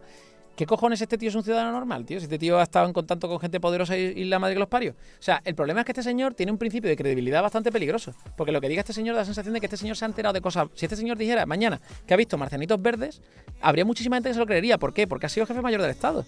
Entonces, tiene un principio de credibilidad muy peligroso, ¿vale? Pero sigue sin dar pruebas, ¿eh? Es una tiranía, no sé qué, nos quieren quitar el poder para darse a los poderosos que ya son poderosos. Vale, pero ¿dónde están esos los objetivos? Porque a, a lo largo de sus 196 metas, vale, háblame de las 196 metas. No, porque eso sería argumentar. Y aquí no hacemos eso, ¿vale? Dile a ese hombre que cuidado con los chemtrails. No, seguro que cree con los chemtrails. O sea, seguro que cree. O sea, lo que estoy viendo yo, seguro que cree en los chemtrails. Em, dice Cristina Martín, que es esta persona, que no sé quién es. Dice, escritora de Los Amos del Mundo, La Verdad de la Pandemia y otros bestsellers. Doctora de Periodismo. Doctorado en Communication Studies. ¿Esto qué es? ¿Quién es esta señora? Esto, esto tiene, tiene más pinta la Agenda 2030, libertad o tiranía. Y te pone el, bestsellers, ¿eh? Y otros bestsellers. Los amos del mundo, la verdad de la pandemia y otros bestsellers. Ay, Dios mío. libertad o tiranía, el libro que demuestra el fraude de la Agenda 2030. Solo la libertad puede hacer frente a la mentira, la injusticia y la máscara del plan del tirano. ¿Quieres saber, esclavos? madre mía, tú. Em, o sea, ha escrito un libro de la verdad oculta detrás de la Agenda 2030. Tócate los huevos, tío. Los negacionistas escribiendo libros ya. Es que tócate las narices. Se están forrando con eso, no saben nada. Sí, sí, no, está claro, haciéndole publis, ¿eh? Liso dice, ¿de qué palo irá Cristina Martín? Con la pandemia estamos en una guerra que pretende aniquilar nuestra libertad. Uf.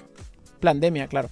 Dice Liso de su propia web. Web de Cristina Martín Jiménez, doctora en periodismo y escritora. Soy políticamente incorrecta y autodidacta. Doctora y autodidacta. Eh, sí, suena, suena incongruente. Que nos, que nos enseñe el doctorado de periodismo. ¿Vale? Que nos enseñe el doctorado de periodismo. Porque se dice que es autodidacta. Una doctora autodidacta es, autodidacta ya mal, claro. Es que autodidacta, autodidacta para algunas cosas puede estar bien, pero lo mismo para informarte está regular. Bueno, dice Cristina Martín, autora de bestsellers, nos demuestra. Habrá, que ver los bestsellers, ¿eh? Bestsellers significa los más vendidos, pero los más vendidos de cuándo? De su, de su barrio, no sé. Porque lo mismo vendió millones, ¿eh? Y yo, vamos. Em, se la sacó donde Cifuentes y Casado de los días totalmente. Dice, nos desvela la gran mentira que significa la Agenda 2030, los intereses ocultos. Nos detalla la perversión del globalismo, la educación para la esclavitud, la polarización de la riqueza. Pero, tío, ¿qué está diciendo? La perversión del globalismo, vale, pero la perversión del globalismo no tiene nada que ver con la Agenda 2030. Es que está... Mira, me estoy viendo venir lo que va a decir el libro. El libro empieza a hablarte de las cosas que están mal en nuestro mundo. ¿Vale? La globalización trae cosas buenas, pero también trae cosas terriblemente malas. ¿Vale? La tiranía de las empresas tecnológicas, de Google, de Microsoft, de Amazon, de todas estas empresas, ¿vale? Es una putada. Pues claro que es una putada, pero eso no tiene nada que ver con la Agenda 2030, tío. ¿Vale? Es que lo está, está, diciendo las cosas malas que hay en el mundo para irlo asociando todo el rato con la Agenda 2030. Es que, por favor, es que son cosas diferentes. Es que esta gente tiene el cerebro lavadísimo, tío. Nos desvela la gran mentira que significa la Agenda 2030, ¿vale? Los intereses ocultos. Claro, pero no dice cuáles son. ¿Cuál es la gran mentira? ¿Cuáles son esos intereses ocultos? Dice, nos detalla la perversión del globalismo, pero eso no tiene que ver con la Agenda 2030. La educación para la esclavitud. No es. O sea, ¿cómo que la educación para la esclavitud? ¿La Agenda 2030 educa para la esclavitud o las megatecnológicas te esclavizan? ¿Vale? Lo de la educación para la esclavitud, esto ya lo he contado yo muchas veces. Cómo educan ¿vale? Nuestro subconsciente para que vayamos al teléfono cada vez que tenemos una llamadita, cada vez que tenemos una notificación, ¿vale? Nos están entrenando con un comportamiento pavloviano para que salivemos cada vez que el teléfono hace tin tin, tin tin. Y tú dices, ¿tendré una notificación? ¿Tendré una notificación? ¿Tendré una notificación? ¿Sabéis el estudio este que salió de cuántas veces revisaba, buenas Maika por YouTube, cuántas veces revisaba una persona el teléfono de promedio al día?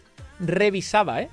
No lo usaba para hablar, no incluye los usos reales. ¿Cuántas veces una persona tiene la pantalla apagada y hace así, la enciende? Ah, no tengo nada. Y ya está. Eran cientos, cientos de veces al día que estamos abriendo la pantalla de forma compulsiva, ¿vale?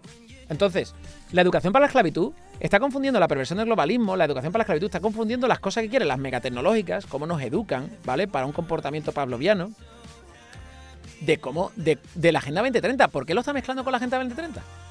Dice, símbolo, la doble tapa en pantalla es un gesto automático para mí, claro. Claro, claro. Dice, Calador, deja de tintín que boca, chonto. Dice Liso, de la propia web de Cristina esa. 3. Mi maestro fue el doctor Enrique López Guerrero, el cura de los ovnis. Hostia puta. 4. Soy la primera autora a nivel mundial que publicó un libro sobre el, el Club Bilder- Bilderberg. Abril de 2005. Vale. 5. Mi interés por Bilderberg llegó tras una conversación con una compañía de trabajo. Entonces ya hablaba en ya trabajaba en Madrid en el programa de Ana Rosa Quintana. Hostia puta. Esta mujer lo tiene todo, ¿eh? Con Ana Rosa Quintana, su maestro fue un cura de los ovnis y habló del Club Bilderberg. Hostia puta, tú. Esta, esta, esta tía está, sí, está chunga. sí. Vamos mejorando, sí, sí, la que ha escrito el libro. Bueno, pues esta señora, la Cristina Martín, esta que estamos hablando, es el referente de este señor. Este señor, Pedro Baños Bajo, pone como referente a esa señora, ¿vale? O sea, es, loquísimo, tío. Son. Es, un manicomio, ¿vale? Con todo mi respeto a la gente que tiene problemas mentales, ¿vale? No, no hagamos befa y mofa de esto, pero es un, ejemplo muy poco, muy poco correcto, ¿vale? Políticamente muy incorrecto. Es un manicomio donde entre ellos se señalan como referencia. No, porque tú investigaste sobre. No, tú hiciste no sé cuánto y tú fuiste el que hablaste no sé qué y se referencian entre ellos, ¿vale? Pero ¿podéis referenciar a alguien que no esté dentro del manicomio? No. ¿Para qué? Si los que estamos aquí dentro somos perfectamente válidos y válidas. Somos la- increíbles. Ya, pero ¿podéis referenciar a alguien que no está aquí dentro? Por, por, por un simple. Por, seguridad. Por investigación. No sé, algo. No, no, no, mira, es que aquí nos vamos a referenciar entre nosotros. Todo el rato entre nosotros. Es que somos. Es, es un club muy endogámico. ¿Vale? Ay, Dios mío. Em, dice Flexolite, ah, es el Pedro Baños, se dice como una cabra, claro. Silvio dice, mira que mi madre me decía que cuidado con quién me juntaba, que se me va la olla. Pero este tío fue jefe mayor del ejército. Es que este señor, ¿cómo ha llegado a jefe mayor del ejército estando así de loco? Bueno, luego el ejército, que también hay cada persona que flipas, pero. Ay, mm. en fin. Bueno, pues se refer- referencian entre ellos, ¿vale? Y dice, autora de Bersele, tal, nos detalla la perversión del globalismo, la educación para la esclavitud, la polarización de la riqueza, la polarización de la riqueza, la tiranía climática. Uf, esto ya, esto ya es chungo, ¿ves? Cuando empieza con estas cosas, este, este señor debe ser de los que piensan que el cambio climático no existe. Que las especies se extinguen porque Dios así lo ha elegido, ¿vale? Y no pasa nada, ¿vale? Y la temperatura de los mares y todas estas cosas, y que son ciclos, y que siempre ha pasado, y que simplemente es otro ciclo, y no sé qué, no sé cuánto. Te cuentan movidas de eso, tío. Y es para decirle, tío, soy gilipollas, nos estamos cargando el mundo y os está dando exactamente igual, ¿vale? Os estamos alertando de que nos estamos cargando el mundo y para cuando queráis reaccionar será demasiado tarde porque sois tan tontísimos, ¿vale? El meteorito, Don't Look Up. ¿Vale? La, la- la película de Don't Look Up, que os la recomiendo muchísimo, ¿vale? Muchísimo. No porque sea un película increíble, sino porque lo que cuenta es tan increíble, ¿vale? La frustración que, se, que siente ese, ese, profesor, ese científico, es tan increíble que, que yo creo que representa a muchas de las personas que estamos intentando todo el rato eh, concienciar a la población de que, oye, por favor, tenemos que hacer algo, ¿vale? Em, pero Don't Look Up hay dos facciones. La facción que, señala de que, oye, ¿veis eso? Eso es un meteorito. Se ve a plena luz del día, está ahí. Y viene hacia nosotros y cae en cuestión de días. ¿Vale? Y nos va a matar a todos. Es un evento de extinción planetaria. Y hay otra facción que dice Don't Look Up. No mires arriba. Te quieren engañar con el meteorito para que no veas los verdaderos problemas. La tiranía del meteorito. Son gente que dicen que no se quede el meteorito. No hagáis ni caso. ¿Vale? Entonces yo soy el, yo soy el científico que está diciendo, tío, eh, mira el puto meteorito, ¿no? Y, y este tío es el que dice, no, no, look up. No te preocupes por el meteorito. No hay meteorito. Es, una estafa. El meteorito lo han colocado ahí las élites. El meteorito lo han colocado ahí las élites. ¿Vale? Lo que cuenta Look Up es tan plausible que da pánico. Claro, es que la cosa es que si viniera un meteorito, seguramente pasaría eso. Habría gente que diría, no, mira, el meteorito, es mentira. el, el motorito es mentira. El motorito lo han hecho las élites, el motorito. Los reptilianos nos traen el meteorito. ¿Vale? Y, y estaríamos así todo el rato. Porque es que somos gilipollas. Es que como ser humano hemos llegado a un punto de inteligencia tan grande que estamos dando la vuelta, estamos evolucionando, tío. Es, es, es brutal. Flexolite te dice, es una buena crítica al capitalismo. Pues ¿sabes, ¿sabes lo que pensaron los negacionistas que vieron la película? Esto lo he contado yo muchas veces. Que era una crítica a favor del negacionismo. Porque los negacionistas decían que ellos eran los que señalaban el meteorito. Los negacionistas, los negacionistas, cuando vieron la película dijeron, coño, yo soy el científico. Yo soy el científico. Y estoy todo el rato señalando que la Tierra es plana y nadie me cree. Y estoy todo rato diciendo que las vacunas nos controlan y nadie nos cree. Yo estoy todo el rato diciendo que los reptilianos están entre nosotros y nadie nos cree. Eso fue lo que dijeron los negacionistas. Los reptilianos son el meteorito. La Tierra plana es el meteorito. La, la cacuna es el meteorito. La pandemia es el meteorito. La Agenda 2030 es el meteorito. Y, nadie, y la gente se ríe, de, se ríe de mí como del científico en la película. Para que veáis que no hay más ciego que el que no quiere ver, gente. Incluso el director de la película lo dijo. Dijo, esto es una, una parodia del. Una, una alegoría paródica, ¿no? Del negacionismo y de la gente que, que no quiere ver y cómo nos polarizan políticamente y todo el rollo. Aún diciendo el director, los negacionistas dijeron, no, no, no, yo soy el científico. Los negacionistas se pensaban que ellos eran el científico. Es brutal, ¿eh? Es, increíble. A mí esa, esa película me flipa por, por lo que hace sentir a la gente negacionista. Se sienten los protagonistas. Eh, Liso dice, otra muy grande es Idiocracia, em, que hasta su creador dijo, Idiocracia es una comedia, no un manual de instrucciones. Claro, eh, Idiocracia va de un señor que viaja en el tiempo, ¿vale? es una película comedia, viaja en el tiempo y llega a un futuro cercano, no- relativamente cercano, 50 años creo, no sé, en el que el mundo se ha vuelto idiota, ¿vale? Y gobiernan los idiotas. Es una película de coña. Es una película como película, yo la vi tarde, yo no la vi en su momento, yo la vi tarde y me pareció bastante mala, bastante... pf. Lo que pasa es que es muy mala, la verdad es que resuelve todo muy mal, los personajes son muy malos, a mí no me hizo ni puta gracia, pero la idea inicial es cojonuda. Te dice, en un futuro, ¿vale? La sociedad, la gente más inteligente ha dejado de tener descendencia porque prefería eh, no colaborar con la expansión del ser humano y con toda esta mierda, ¿vale? Y los, y los tontos entre los tontos, los idiotas, siguieron teniendo hijos y cada vez más y cada vez más y cada vez más, ¿no? Y pone el ejemplo de los redneck americanos, o pone el ejemplo del Opus Dei, pone el ejemplo de estas cosas. Entonces, al final, pasan las generaciones y solamente quedan generaciones de idiotas. Y, es, es, y, y los listos se han extinguido. Entonces el protagonista, que en nuestro tiempo es tonto, llega allí y es súper listo, es un. En fin, bueno, es, es una, es una comedia muy básica y bastante mala, pero con una premisa inicial cojonuda. En fin, la- lástima que esa película habría que hacer un remake rehaciendo todos los chistes y un poco el argumento, porque, uff, la idea inicial es cojonuda, pero se desaprovechó muchísimo. Pero bueno. Bueno, eh, desde mi punto de vista, eh, que entiendo que a la gente le gusta, porque mucha gente ha dicho que a, que a ellos le encanta Idiocracia, me parece genial. Yo la vi un poco más tarde, repito, y ya no me cogió a mí en la ola de que me gustara esa película, pero bueno. Em, dice, la premisa de Idiocracia es muy buena. Sí, Starship Trooper es otra que mucha gente entiende al revés. Starship Trooper, qué peliculón también. Starship Trooper también es una, es una, mm, una crítica al ejército y al capitalismo y a la tiranía, al fascismo, todas estas cosas, ¿no? Es brutal. La verdad es que Starship Trooper me gusta y creo recordar, la, he visto muchas veces, pero hace muchos años que no la veo. Creo recordar que al final tiene hasta un plot twist final y todo. Creo recordar. Luego hay segunda parte y tal, pero no la recomiendo. La primera y única y tal, ¿vale? Bueno, sigo leyendo, ¿vale? Eh, habla de. Nos detalla la progresión del globalismo, la educación para la esclavitud, la polarización de la riqueza, la tiranía climática y el timo medioambiente. Ma- Madre mía, le llama timo medioambiente. La implantación de un neototalitarismo mundial. Neototalitarismo mundial. Quien maneja los hilos en países y el verdadero significado del nuevo orden mundial. Acaba de meter en este párrafo. O sea, si todo eso lo incluye en el libro, tócate los huevos, ¿vale? Pero recordad que hay un montón de gente alineada con esto, ¿eh? Hay un montón de despiertos que van de la mano con esto, ¿eh? Y finalmente nos da las claves para que los ciudadanos nos podamos librar de las cadenas que nos quieren imponer haciendo una llamada a la rebelión de los libres. La rebelión de los libres, chaval. Y espérate que hay notas propuestas por la comunidad. Lo vamos a ver, aunque sea por los jajas. Vamos a ver las notas propuestas por la comunidad. La primera nota. ¿Solo hay una? Ah, solo hay una. Dice. Imposible refutar todas las tergiversaciones del tuit. El autor es un propagandista habitual de conspiraciones pro-Kremlin. Hostia, la Agenda 2030 no es un plan de élites ocultas. Es una guía pública. Eh, no vinculante sobre objetivos globales firmada por los Estados miembros de la ONU. Ahí está. Es una guía pública no vinculante. ¿Vale? No es un plan de élites ocultas. Es que claro, es que dice tantas cosas, ¿vale? Y te, y te, y te, y te mete en la Agenda 2030. Eh, voy, a, voy a ponerle que sí, que esta nota es útil, ¿vale? Fuente de calidad de la ONU, fácil de comprender. Dirige eh, a la reclamación del post, sí. Proporciona conte- contexto importante, por supuesto, porque la gente lo puede leer. Lenguaje neutral e imparcial, si me parece bien, y ya está. Vale, la enviamos, la califica como útil y para adentro. ¿Vale? Porque que le salta a la gente las notas es importante, creo, que cuando lean este post, que entiendan que este señor está un poco para allá, ¿vale? Em, es que es muy complicado. Es muy complicado. Vamos a ver lo que dice la gente un poco en los comentarios. Dice el primero, es que verás tú, la, la retaíla de negacionistas nos vamos a encontrar aquí. ¿eh? Dice, la Agenda 2030 se explica de forma muy sencilla. Suecia, país más seguro de Europa en el 95, hoy en día es el lugar donde más delitos se cometen contra la integridad física de las personas, con numerosas zonas no-go, donde solo entra el ejército.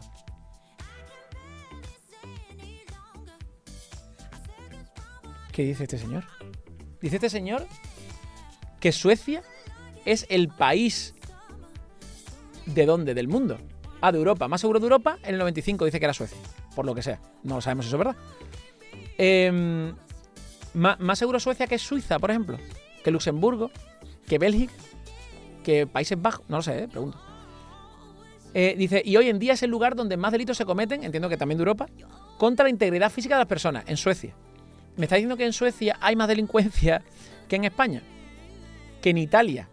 En Italia. Que en Grecia. Eh, yo qué sé. En Rumanía. Que también es Europa. Me está diciendo que Suecia es más peligroso que Polonia. Lo digo porque lo mismo es tirarse un triple bastante gordo, ¿eh? ¿Vale? Lo mismo tienes un triple bastante gordo, Suecia. ¿eh? Yo creo, yo- o sea, evidentemente no va a aportar ninguna, ninguna prueba de esto que está diciendo, ¿vale? Dice con numerosas zonas no-go donde solo entra el ejército. ¿Os imagináis zonas de Suecia donde solamente entra el ejército? Eh, dice, Simo, más peligroso que Nápoles. Ja, ja, ja, ja, claro, Simo ha estado en Nápoles. claro, la zona, la gente que habéis ido al sur de Italia, seguramente tenéis más conciencia que este señor de, de lo que es Europa, ¿vale? Dice Carlos, Suecia es uno de los países más seguros. Sí, lo segundo es mentira. El top de países con menores tasas de criminalidad está en los países nórdicos. Claro, sí, ya lo sé, pero por eso digo que este señor no sé de dónde saca esa estadística, de la fuente de sus huevos. El siguiente dice, madre mía, ¿cuánta gente desconoce esto tras la inmensa mayoría que se traga las patrañas de las televisiones españolas? ¿Cómo nos engañan? Impaciente por ver el programa. ¿Qué programa? Eh, supongo que va a salir en Iker Jiménez hablando todo eso. En el momento en el que no estés de acuerdo o discrepes con la agenda, estás perdido porque al ser una agenda global, vayas donde vayas, estará ahí acechando, controlando. la agenda te acecha, ¿eh? Y te controla la agenda. Hay una agenda detrás tuya con patita, como si fuera Mrs. Minutes de Loki, ¿vale? Pues te va controlando la agenda, ¿vale? La tiranía climática, el cambio y el tipo medio ambiente. Hacer esta sentencia es cuanto menos un tanto delirante. Claro, bueno, por lo menos se ha dicho. Es deshonesto presentar el asunto tan complejo de una forma tan chabacana. Debido a su experiencia, no me cabe duda de que lo suyo no es candidez. Se aprovecha consciente, con- consciente del desconocimiento y la desesperación de la gente. ¿Realmente le merece la pena rebajarse este nivel? Las élites ya controlan. Estoy bajando despacito porque en Twitter sale un pechote a la mía, ¿vale? Las élites ya controlan el mundo y lo seguirán controlando. Ellos tienen el poder, el dinero y los medios. No es una ninguna novedad. Que quieran seguir haciéndolo. Y seguro que no tienen ningún plan, sino varios. Em, otro que tampoco sabe que las élites se pelean entre ellas. Em, bueno, dice en el tweet viene el enlace del programa que va a hacer la escritora. Creo que hoy. Ah, vale. Dicho lo cual, qué manera de desbarrar. No te había. ¿No te habías dado cuenta de que estamos controlados por gente que posee, por ejemplo, la cadena privada de televisión donde, donde hablas? Hay que desconfiar de ti también. Tu propio razonamiento lleva a esa conclusión, claro. Si este señor sale en televisión, está saliendo en televisión en las cadenas privadas de las élites. Es que también. Mi coronel tiene usted toda la razón que un santo. Quieren acabar con la mayoría de los seres humanos. Gracias por su labor y a la de Cristina Martín Jiménez. Quieren acabar con la mayoría de los seres humanos. De alguna manera, ¿verdad? En fin. El infierno está adoquinado con supuestas buenas intenciones. Los puritanos no tienen, no tienen buenas intenciones, son la quinta esencia del mal. La gente ya habla em, de forma religiosa. Da un poco de miedo, ¿no? Como una secta, ¿no? Vayan, pero el coronel dice, pero el coronel se corre si ganara Vox. Esos que re- representan más que ninguno los privilegios de cuatro. Te tienen que descojonar a este tipo. Te tienes que descojonar a este tipo. Ah, bueno. J. Palacio, muchísimas gracias, tío, por esos 16 meses en el premazo. Hipoteca. Besote, tío. Muchísimas gracias por ayudar con la hipotequita, J. Palacios. Hay que desenmascarar de una vez por todas la infame Agenda 2030. Hay que desenmascararla, tiene una, tiene una máscara y hay que quitársela. Depende de, eh, de qué amos son tiranos o no. Anexionarse países es bien. Ah, porque ponen a esta foto este señor que dice, coronel, hay que negociar con Rusia, sin su gas podría morir de frío cientos de miles. Ok. Ojo con este libro, coronel. Agenda de los dioses, bla, bla, ok. El defensor de China, Rusia, Corea del Norte pontificando sobre tiranías. Eso tiene sentido. es también defensor, aparte de Rusia, de China y de Corea del Norte. Está guapo. La historia se repite. Esto es bueno para nosotros. Bueno, es que ya, acabar con la pobreza, promover la fertilización, mejorar la sanidad, cuidar el medio ambiente, etcétera. ¿Cuál es el problema? Claro. Eh, esta es la cosa. Bueno, pues ya sabéis. Este señor, este señor, pues hay luz en casa, pero no hay nadie, no hay nadie dentro, ¿no? Eh, como suele decir, no hay nadie al volante. Este señor ha escrito este, este post sin ningún tipo de prueba y diciendo, imponiendo encima a una negacionista que flipas, que dice que es doctorada pero autodidacta. Entonces, ¿cómo se ha sacado el doctorado? No, no me queda muy claro. El doctorado tenido una, una carrera. La carrera también ha sido autodidacta para la carrera. No te han hecho exámenes. ¿Cómo va esto? En fin, bueno. ¿Vale? No le hagáis ni caso, viene bien repasar esto para que, para que cuando os encontráis estas cosas por ahí, tío, pues yo que sé, sepáis un poquito diferenciarlas de cosas lógicas, ¿no? Y de calidad. Vale, siguiente noticia. Vale, esto lo ha pasado sin vos, es una curiosidad. Dicen, no, es el juego de la OCA, es una interpretación de la tabla periódica absolutamente alucinante. Hay muchos diseños alternativos de la tabla periódica de toda la vida, pero uno en concreto es muy acertado debido a que coloca el silicio en una posición privilegiada. Em, no entiendo por qué. Em, a ver, vamos directamente. A ver, vale, esta, esta vez, ¿vale? Esto es la tabla periódica con su relación con su, under periodic relationship y sus relaciones periódicas. Y pone al silicio aquí. Pone al silicio aquí. Y tiene relación con casi todo. Hostia, tú, esto, esto es una locura, ¿no? Mira la tabla periódica esta. ¿Tiene sentido? ¿Dónde está el hidrógeno? Ah, hidrógeno está aquí. Hidrógeno, helio, litio, berilio, boro, carbono, nitrógeno, oxígeno, flúor, neón, sodio, magnesio, aluminio, silicio. Pero, pero ¿esto, ¿esto qué es, tío? Eh, es una tabla periódica que muestra los elementos según su relación con el resto. Vale. Eh, creo que el silicio es importante para la vida o era el carbono. Eh, hombre, estamos, nosotros somos seres basados en el carbono, pero estamos basados en más elementos, no solamente en carbono. Vale. Eh, pero es curioso, es curioso. Dice el silicio como parte central, el nombre de los elementos químicos y sus relaciones periódicas, la tabla de Hyde presenta, eh, se llama tabla de Hyde, ¿vale? Como Jackie y Mr. Hyde, pues. Presenta el silicio como un elemento que protagoniza la parte central. No nos vamos a aventurar a decir que era más importante para Hyde, pero realmente fue el que marcó su carrera porque el silicio consiguió fabricar la silicona con diferentes métodos consiguió grandes avances en la producción del vidrio y también el, cuar cuarzo fundido, que vemos en muchísimos objetos como la fibra óptica, el espejo, el lente, la industria espacial o los y semiconductores. Bueno, pues ya está. Es una curiosidad, ¿vale? Es una curiosidad, no tiene más. La ha pasado Silicio, sí, sí, José. La ha pasado Simbo, parece está, curioso. La verdad que está chulo, ¿eh? Está para sacar un póster, ¿eh? eh me podría. Eh, Simbo, ¿sabes lo que podría ser esto? Un árbol de investigación de un juego. Esta tabla periódica podría ser un árbol de investigación. Ahí lo dejo. ¿Eh? De un proyecto que se, no sé, que se haga con el motor Unreal, por ejemplo. Pensé lo mismo y decimos, claro, algo así. Es para ponerlo en la documentación del proyecto. Lo mismo. Está guapo. Está guapo. Y dar una vuelta a esto, a ver cómo sale. ¿Vale? Guiño, guiño. guiño, guiño, sí, sí. Bueno, eh, seguimos, seguimos lo siguiente. Vale, eh, me habéis pasado esto de Starship 2 y Starship 3, las futuras versiones del cohete más grande del mundo. Vale, pues eh, simplemente, vale, que ya se han presentado las siguientes versiones. De, hostia, lo voy a poner así porque es que es tan grande. Starship 1, 2 y 3. Estos son los tamaños estos son los tamaños de las siguientes versiones de los cohetes. Mirad la diferencia del 3 con el 1 y el 2, tío. El 1 y el 2, ¿vale? Ya eran gigantesquísimas. Mirad el 3, tío. Mirad qué putísima locura. Yo estoy flipando del tamaño que tiene eso a la hora de despegar, tío. Me, me vuela, me vuela la cabeza, tío. Me vuela la cabeza a la hora de despegar esto, tío. O sea, hemos visto aquí el despegue, hemos reaccionado al despegue, lo tenéis en YouTube, el último despegue de Starship. Reaccionando fue brutal. Pero, pero yo veo este tamaño, es que no sabe, es que creo que tenía 120 metros o algo así, era una, absoluta locura el 1, ¿eh? 120 metros así, o sea, esto yo no sé los metros que tiene. Yo no sé qué, qué, metros tiene. 124, 121. La llamada Starship 2 tendrá 124 en vez de 121 de la otra. Eh, y en la 3, ¿cuánto? ¿Lo hice por aquí? ¿Te dice por aquí los metros? No. La Starship tendrá una altura de 150 metros. Eh... Buah, tío. 150 metros, ¿eh? Con nuevas, nuevos sistemas de cohetes. Qué locura, tío. Qué locura. Bueno, pues ya lo sabéis, ¿vale?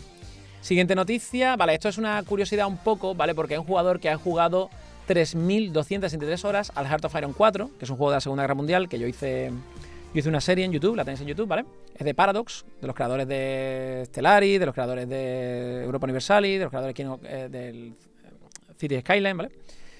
Del Crusader Kings. Se publica su review en Steam y la respuesta de Paradox enfurece a la comunidad, ¿vale? El chico ha escrito una review que que yo estoy bastante de acuerdo. Yo cuando jugué la campaña, yo la- más o menos las impresiones que da este chico aquí, más o menos son las mismas que di yo al final de Heart of Iron 4, porque es un juego que no va de gestión de países en Segunda Guerra Mundial, ¿vale? Como tú te esperarías. Em, es un juego que va de gestión de factorías, pero con un realismo muy raro. Eh, y, una, y una gestión súper ortopédica, complejísima y que, y que es imposible ya de... Eso no, no tiene ningún sentido. O sea, entiendo que a la gente le gusta, pero porque no tiene muchas más opciones dentro de ese género a ese nivel. Pero es como siempre. Mm, Destacan juegos no porque sean buenos, sino porque son únicos. Entonces es una putada, ¿vale? No- como no hay competencia, lo mismo que le pasa a Seven Days to Die. Seven Days to tiene muchísimo problema, pero como no tiene competencia, pues ahí siguen. En fin. Dice, después de 3.203 horas, finalmente decidí publicar mi reseña. Esperé hasta que saliera el último DLC innecesario, Trials of Elegance, para ver si a los desarrolladores les importaba más sacarle dinero al juego roto o, por el contrario, preocuparse, arreglar las mecánicas principales y meter algo de lógica en el juego. La política actual de la compañía, que ya sabéis que es Paradox también, ¿vale? Es agregar más cosas que traerán más errores y problemas al juego en lugar de asegurarse de que el juego funcione como se esperaba. Recordad que esto es una persona que lleva más de 3.000 horas, ¿eh? 3.000 horas, ¿vale? En primer lugar, no tendría más de 3.000 horas en el juego si fuera tan malo. El juego es muy divertido y entretenido, siempre y cuando no te importe la inmersión histórica, el realismo y cómo funciona la lógica del juego. ¿Quieres ver soldados hambrientos y desnudos sobrevivir a menos 50 grados por la eternidad mientras su único equipamiento se va a la estratosfera? Juega a Heart of Iron 4. ¿Quieres construir un aeropuerto para el enemigo a tu costa? No hay problema, es posible y realmente estúpido. ¿Quieres ver a tus soldados derribando los aviones enemigos? Bueno, por alguna razón no puede hacerlo con sus múltiples ametralladoras a pesar de que la historia nos a pesar de lo que la historia nos enseñó. Necesitas equipo muy específico que solo derriba algunos tipos de aviones. ¿Quieres destruir un caza y ver cómo ayuda a tus divisiones en combate terrestre a toda o acosa la logística enemiga? Pues no puede. Pero otros tipos de aviones sí, a pesar de tener el mismo equipo y la capacidad de un caza. Los generales son inmortales y abstractos. Podría seguir así durante mucho tiempo. Está poniendo, está poniendo cosas que se podrían haber arreglado, ¿vale? Pero hace falta querer arreglarlo. ¿A dónde iba con esto? Verás, por el bien del equilibrio, el juego es muy binario y limitado. El juego requiere que el jugador investigue y construya una cosa, por ejemplo, investigar armas antiaéreas, para poder derribar eh, solo algunos tipos de aviones. Para destruir otros tipos de aviones, el juego requiere que el jugador construya edificios antiaéreos que destruyan el resto. Pero los que destruyen el resto no pueden destruir los mencionados primeros y viceversa. ¿Vale? Es decir, para destruir unos ciertos tipos de aviones necesitas cierta artillería antiaérea. Y para destruir el resto tipo de aviones necesitas otro tipo de edificios. ¿Vale? Como si un arma antiaérea dijera, no, a este avión no le pego porque no es de mi tipo, le pego al otro, ¿sabes? Y dices tú, ¿y eso por qué lo hace así el juego? Bueno, pues para. Para el equilibrio del juego necesita ser así de sencillo, porque si no estaría muy roto. Coño, pero es que la Segunda Guerra Mundial tenía esos desequilibrios, que joder. Em, dice, en ambos casos se trata de defensa aérea, pero sus habilidades no pueden ser más dinámicas. La Segunda Guerra Mundial no funciona así, y la situación del campo de batalla era mucho más dinámica y universal. De ocho errores reportados en el foro durante los últimos dos años, ninguno ha sido corregido. En dos años, ¿eh? Ninguno. Algunos tardarían dos minutos en arreglarse. No soy el único que informa problemas a ciegas en el foro de Paradox que caerán en el olvido.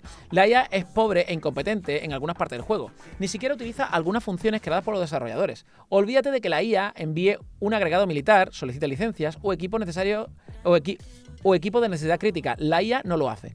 Esto es lo que hago siempre. Es más fácil hacer que una IA haga trampas, ¿vale? Que programar una IA que juegue con las funciones del juego. Esto lo explica muchas veces. El mejor ejemplo es el Total War, los juegos Total War, cómo funciona la IA. La IA no juega con la economía del juego, ¿vale? Crea unidades más rápido o más lento según la dificultad que tú hayas puesto. Pongo un ejemplo. Eh, juegas al Roma Total War. ¿Qué hace la IA? Te va creando un soldado, ¿vale? Por segundo, por ejemplo, si está en dificultad normal. ¿Vale? ¿Con qué economía? No, no, saltándose toda la economía. Saltándose toda la economía. No juega con las reglas de la economía. Tiene torres de ejército. Va sacando torres de ejército. Y va construyendo edificios gratis. Clac, clac, clac. Va- ¿Vale? Si lo pones más difícil el juego, en vez de cada segundo, lo saca cada medio segundo. Y si lo pones más rápido, lo pone cada cuarto segundo. Clac, clac, clac, clac, clac, y va sacando unidades. ¿Vale? Entonces tú básicamente estás luchando contra torres de ejército. ¿Vale? Que no tienen ningún tipo de IA, ningún tipo de nada. ¿Vale? Entonces, esto lo hacen casi, voy a decir casi todos, porque supongo que habrá alguna excepción honrosa que se hayan dedicado a programar una IA que juegue con las reglas del juego. Pero que sepáis que la mayoría no era así. De hecho, desde los Age of Empires, desde juegos clásicos, la IA no juega con las reglas del juego. Esto se puede saber porque cuando conquistas, cuando conquistas al enemigo y te haces con sus propiedades, de repente tu economía se rompe. No llevaban una economía equilibrada. ¿Vale? Era una economía al azar. A veces al azar está bien y a veces al azar no lo está, ¿vale? O sea que lo más probable es que muchas veces no lo esté, ¿vale? Porque si fuera fruto del azar sería muy fácil jugar. Hoy en día el juego siempre ha sido popular solo gracias a los mods y creo que actualmente no hay mejor si- no hay un juego un mejor juego similar a Heart of Iron 4, que este- lo que he dicho antes, el problema de este tipo de juegos es que son únicos, no tienen competencia. El juego Vanilla sin mods para jugadores veteranos es extremadamente aburrido, simple y solo para aquellos que se preocupan por los logros. Si no fuera por los mods, este juego no se mantendría popular durante tanto tiempo. Si te gustan los juegos estratégicos sandbox inspirados en el evento de la Segunda Guerra Mundial y no te importa mucho la lógica, adelante. Pero si eres un detallista, un entusiasta de la historia, un fanático de la lógica y el realismo, encontrarás este juego doloroso de entender. Eh, bueno, y, y, em, ¿qué es lo que em, qué es lo que le ha respondido Paradox después de esta crítica tan larga? ¿Vale? Dice Silverby, la buena mecánica de piedra, papel tijera mal hecha, claro. ¿Qué es lo que, es lo que le ha hecho Pardo? Pardo le ha respondido, siento mucho escuchar que tus 3.263 horas de Heart of Iron 4 fueron una decepción. Nos esforzaremos para que tu, tu hora 3.264 sea lo más gratificante posible.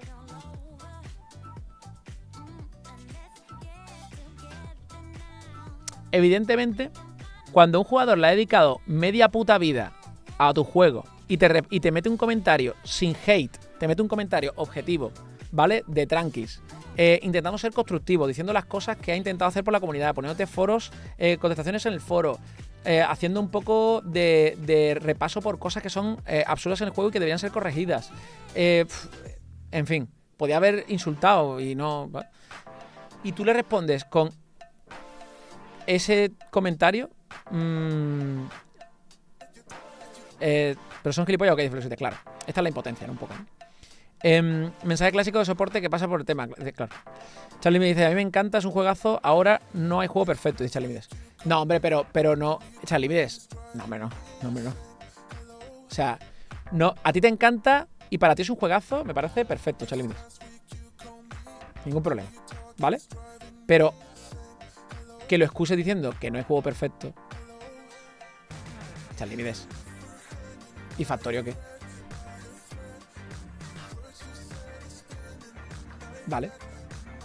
Es como si tú defiendes a la persona que te viola porque diciendo que nadie es perfecto. Hombre, no, pero me viola, pero yo lo quiero mucho, nadie es perfecto. ¿Vale? Nadie es perfecto. Bueno, eh, no es juego perfecto, no debería ser una excusa para perdonar las cagadas de este juego, Charlie Mides. Yo entiendo que a ti te gusta un montón y no pasa nada. ¿Vale? No pasa nada. Esto, esto es lo de siempre. Podemos hacer un análisis objetivo y uno subjetivo. El subjetivo es que a cada uno nos gusta o, no- nos deja de gustar las cosas. Eso no se puede meter uno. Pero objetivamente, Heart of, Ar- Heart of Iron 4 es único en su terreno, lamentablemente, y no tiene competencia. ¿Qué provoca eso? Que los graves errores que tiene Heart of Iron 4, coño, que yo lo he jugado, que no soy una persona que estoy hablando del desconocimiento, que me he hecho una campaña entera sufriéndola. Sufriéndola. Y me he tenido que ver muchos vídeos detrás de las cámaras, muchos tutoriales, muchas partidas de otros streamers y otros youtubers, para intentar entender qué cojones hacía. ¿Vale? Y aún así no he sido capaz muchas veces de arreglar movidas. ¿Vale? Porque era un juego, no es un juego de guerra, es un juego de gestión de fabricación de, de- de cadenas de producción. Es una cosa muy rara, porque no es que tú hagas las cadenas de producción, es que haces la gestión. Es como una. Eh, es, es- es- horrible. O sea, partimos de la base de que hay cosas horribles, ¿vale?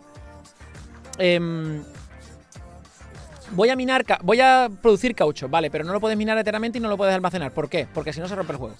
O sea, me quitan una cosa realista que es almacenar caucho, porque eh, si no se rompe el juego. Sí. No sé. Eh, ya son los factores reducidos, claro. Em, dice Talión, la IA no construye puertos ni bases aéreas, por ejemplo, es ridículo. Tienes que construir tus países aliados, pero te meten 200 DLC y eso es algo básico, claro. Eh, no defiendo a Paradox ni su respuesta. El juego no viola, tampoco nos pasemos. No, no, no, pero estoy. eh, Gracias por aclararme que el juego no te viola. Por un momento estaba yo asustado porque digo, joder, creo que lo tengo instalado. es, una- es un ejemplo, Charlie. Flexolite dice, la crítica de este tío es que después de muchos años no han solucionado problemas básicos. Claro, la guerra moderna es pura logística. Sí, pero la Segunda Guerra Mundial creo recordar que no era la guerra moderna, ¿no? ¿O sí? ¿Lo mismo la, la Segunda Guerra Mundial la consideramos guerra moderna? No sé, Flexolite, tú dirás. Charlie me dice, estoy totalmente de acuerdo con la crítica, pero me sigue gustando. Que sí, que sí, pero es que tú, repito, que te guste a ti o no te guste a ti no es lo que estamos hablando aquí. Aquí estamos hablando de fallos objetivos. El juego tiene graves carencias en muchos aspectos que yo ya la hice el repaso en la serie, ¿vale? Yo el último capítulo, creo que el último capítulo me explayo, durante toda la serie me voy encontrando cosas y voy, voy diciendo, pero al final creo que me explayo un poco más. Em, y tiene graves problemas. Problemas que si los corrigiera, pero son problemas de base de cómo funciona el juego. De las mecánicas mm, de mecánicas, mecánicas pilares del juego que no me gustan, ¿vale? Em, en fin. A ver, Dice, parece que Paradox no tiene presupuesto para relaciones públicas, le dice la gente, menuda broma de respuesta o típica respuesta de un niño. Son algunas de las opiniones vertidas por los usuarios que han visto lo sucedido. Muchos han considerado el comentario como una falta de respeto o un desinterés por realizar modificaciones, por lo que la desarrolladora volvió a la palestra. Y dice, tranquilos amigos, este jugador tiene todo el derecho a dar su opinión. Tuvimos una discusión constructiva sobre sus preocupaciones en privado hace unas semanas cuando se publicó esto. Dejadle en paz. Indica Areo, miembro de Paradox. Esta, o sea, dejarle en paz. No dejarle en paz al chico al revés, dejar en paz al de Paradox, ¿no? Porque el, chico nadie le está atacando, que yo sepa. Esta información la ha corroborado Pluto, el cual asegura que ambos nos explicamos, no está, no está bromeando e intentará cambiar mi opinión actual. Solo deseo lo mejor porque las críticas pueden ser temporales. Veremos si próximamente la situación de of 4 mejora. Me encantaría, me encantaría que dentro de un año diga, oye, han corregido un montón de, bases de cómo funciona Heart of Iron 4 y lo han hecho más realista. Pero más realista no significa más difícil, ¿eh? Ojo, más realista no significa más difícil. Por ejemplo, que tengas que tener dos artillerías, dos tipos de artillería antiaérea y que una solamente te sirve para un tipo de avión y otra para el resto. Pero si es artillería antiaérea, le da todo lo que vuela. Otra cosa es que dé a cierta altura y cierto tipo, por ejemplo, los cazas vuelan más alto que los bombarderos. Vale. Ok. Entonces hay cierta artillería antiaérea que le puede dar los cazas y otros que le puede dar los bombarderos. ¿Vale? o, que da, por alturas, pero hazlo realista, no lo hagas difícil. ¿Vale? No lo hagas. Es que, es que de irreal que lo han hecho era muy complejo de entender, porque claro, tú no podías usar la lógica porque no servía la lógica. De hecho, me acuerdo en la serie, la gente en el chat intentando explicarme cómo funcionaban, por ejemplo, los aviones y los submarinos. Digo, pero ¿por qué no se controla todo igual que las tropas terrestres? No, porque son mecánicas diferentes. Ya, pero ¿por qué? No, porque son mecánicas diferentes. Ya, pero ¿por qué? Nadie sabía decirme por qué. Era así y ya está. O sea, rotísimo en todos los aspectos, súper complejísimo de entender. Mira que, mira que juega juegos complejos, pero este me parecía a nivel de complejo de, de Crusader King, tío, por ejemplo. Juegos que me intenté empeñar a entenderlo y no había manera. En fin. Em, bueno, dicho esto, vamos para. Ah, no, esto, uf, esto ya estaría, que esto es lo del desarrollo sostenible. Vamos a las portadas. Vamos a las portadas. Vale, la portada del país dice: Aragonés defiende que el referéndum para eh, resolver el conflicto entre España y Cataluña será aceptado tarde o temprano. Ok. A la izquierda dice el PP afianza su liderazgo frente al lento desgaste de los socialistas. ¿Esto que es una encuesta o algo así? Sí, 40 decibelios. Vamos a ver la encuesta. Eh, parece que escucho un gato. A ver, encuestita. Información de voto. Tanto por ciento total, Vamos a ver. El PP sube un poquito. Espérate, esto. Uf, es que claro, esto verlo en modo oscuro. A ver, voy a quitar el modo oscuro, ¿vale? Voy a quitar el modo oscuro. ¡Ah, mis ojos! ¡Ah, mis ojos! A ver. El peso sube un poquito. Eh, lleva subido 2,4 puntos desde las elecciones últimas.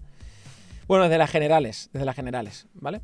Desde las generales. 33,1, lleva 35 tal, el PSOE va cayendo, ha bajado 1,7, 1,7 solo. Ah, bueno, porque volvió a subir, pero después volvió a bajar, luego volvió a subir. Desde aquí 31,7, ¿vale? Y están 30, ¿ok? Ha perdido 1,7. Sumar en caída libre. Dios, sumar en caída libre. Eh, Vox parece que remonta otro chispín, pero en total lleva menos 1, menos 1,1. Sumar menos 4,1, ¿eh? Sumar menos 4,1. Y Podemos entra a la palestra porque entra con un 2,9. Claro, todo lo que pierde sumar lo gana Podemos, ¿no? ¿Entendemos? ¿Entendemos? ¿Puede ser? Madre mía, tú. El caso de Coldo, golpeado socialista, la gran incertidumbre que se ha instalado sobre la visibilidad de la legislatura, el partido de Pedro Sánchez no se hunde, lo que quiere decir que salga indemne, lo suyo el desgaste lento pero constante. En el último mes los socialistas pierden siete décimas según los cálculos, tal. Eh, ¿Dice algo de Podemos y, de Sumar? Eh, transferencia de votos. Pero pone sumar, pero no pone Podemos. Bueno, entiendo que se van aquí. ¿Es esto? ¿No qué es esto? Sumar. ¿Esto qué significa? ¿Gente que votaba antes al PSOE, a Vox, a Sumar o a abstenía y ahora votar al PP? ¿Es eso? Me parece un poco raro, ¿no? ¿Tú te imaginas a gente del PSOE de Sumar? Bueno, claro, la masa gris, es que no lo sé. Y al PSOE, gente de Sumar que se ha ido al PSOE, es que no sé si la transferencia es hacia o desde. Dice votantes que en julio votaron una opción y que votarían ahora en porcentaje. Eh, eso significa que el 86% de los votantes del PP sigue votando al PP. ¿Es eso? El, que votarían ahora es en negrita. O sea, si lo pongo así. No, pero no, me, lo, no me lo incluye, tío. No lo entiendo, ¿eh? Votantes que en julio votaron una opción y que votarían ahora, en porcentaje. ¿Y esto da el 100% supuestamente? ¿Mucha gente del peso se abstendría? Vale, vale. Bueno, me, me- me hace gracia. Gente que. ah, Entiendo que gente votaría. Ah, vale, entiendo que. Vale, entiendo que si al PP, gente, el 86%, lo has dicho, ¿no? El 86% de la gente del PP votaría al PP, el 7% del PSOE votaría al PP, el 11% de Vox votaría al PP, el 1% de Sumar votaría al PP y el 10% de los que se tienen votaría al PP. Vale. Al PSOE le votaría el 72%, a Vox le votaría el 81%. Gente el 7% del PP votaría a Vox, sí. El 1% de Sumar votaría a Vox. No sé por qué el 1% de Sumar que votaría Vox y el 1% de Sumar que votaría al PP no me lo, no me lo tiendo a creer, pero hey, yo qué sé, podría ser. Sumar y Podemos, el 31% de Sumar votaría Podemos. Ojo, cuidado con este, con este número, ¿eh? Este número es lo importante, ¿eh? Un 7% del PP ahora votaría al PSOE. A ver. No, del PP no hay nadie que votaría al PSOE. Entiendo que es esto, ¿eh? Esto, esto no es así. Creo que, creo, que, creo que es como yo estoy diciendo. Los votantes de. de mm, el 72% de la gente que votó al PSOE votaría otra vez al PSOE. E, El 1% de los que votó a Vox votaría al PSOE. E, El 6% de los que votó a Sumar votaría al PSOE. E, Pero el 0% del PP, ¿eh? para que veáis cómo es el PP. No, del PP el 7% votaría al PSOE. E. ¿Tú crees que es esto? O sea, ¿me está diciendo que la gente del PSOE E no votaría a nadie, no sería nadie al PP? ¿Es esto? ¿Es esto? Hostia, es complicado, ¿eh? Es cero del PSOE votarían al PP. ¿Sí? Vale, vale. A ver si lo entendéis vosotros así. Yo es que no. me, parece una gráfica confusa un poquillo. Al menos para mí, ¿eh? No sé si, es que yo estoy un poco. Entonces, vosotros aquí, ¿qué entendéis? En la de Podemos, ¿qué entendéis? ¿Qué entendéis? ¿Que el, que el 31% de la gente que votó a sumar ahora votaría a Podemos? ¿Es eso? Entiendo, yo que sí. ¿no? Bueno, blanco, abstención indecisos. ¿Esta abstención? Bueno, el 42% que se, abstu- que se abstuvo se volvía a absten- a abstener, supongo. Yo creo que al revés de Charlie Míguez. ¿Al revés? ¿El 31% de la gente que votó a Podemos ahora votaría a sumar? ¿Es eso? Pero si ha caído sumar. No puede ser, ¿no? No sé, tío. Eh, no sé si lo dice por aquí, a ver. Eh, ¿Habla de Sumar o de Podemos? Vox salva cómodamente la tercera plaza frente a Sumar, con el que prácticamente empató en julio. Hasta ahora el barómetro mensual tal no separaba la expectativa de voto de la formación de la nadie y sus, antiguos compañeros de Podemos. Si lo ha hecho las encuestas preelectorales en Galicia y el País Vasco, pero debe volver en, en oscuro porque estoy dando los ojos, eh, que ocurrieron por separado. Los estudios 40 veces se hacen en línea y no permiten respuestas espontáneas, sino ateniéndose al temario previo, con lo que en el que no se separaba Sumar y Podemos al no haberse aclarado la relación futura. Eh, una vez confirmado que irán cada uno por su cuenta a los comicios europeos el próximo 9 de junio, el Instituto Demoscópico ha empezado a desegregar la expectativa de ambos, lo que se traduce en un debilitamiento de las opciones de sumar sin que Podemos se beneficie tampoco especialmente. No, a ver, Podemos evidentemente queda, queda hundidísimo, que Podemos está un 2,9 en la mierda, pero em, no sabemos si Sumar ha terminado de perder o no, y si va a seguir perdiendo. Pero bueno, en fin, dicho esto, seguimos para adelante, ¿vale? Españoles, ante el reciclaje, el 40% desconfía de que los residuos sean procesados correctamente.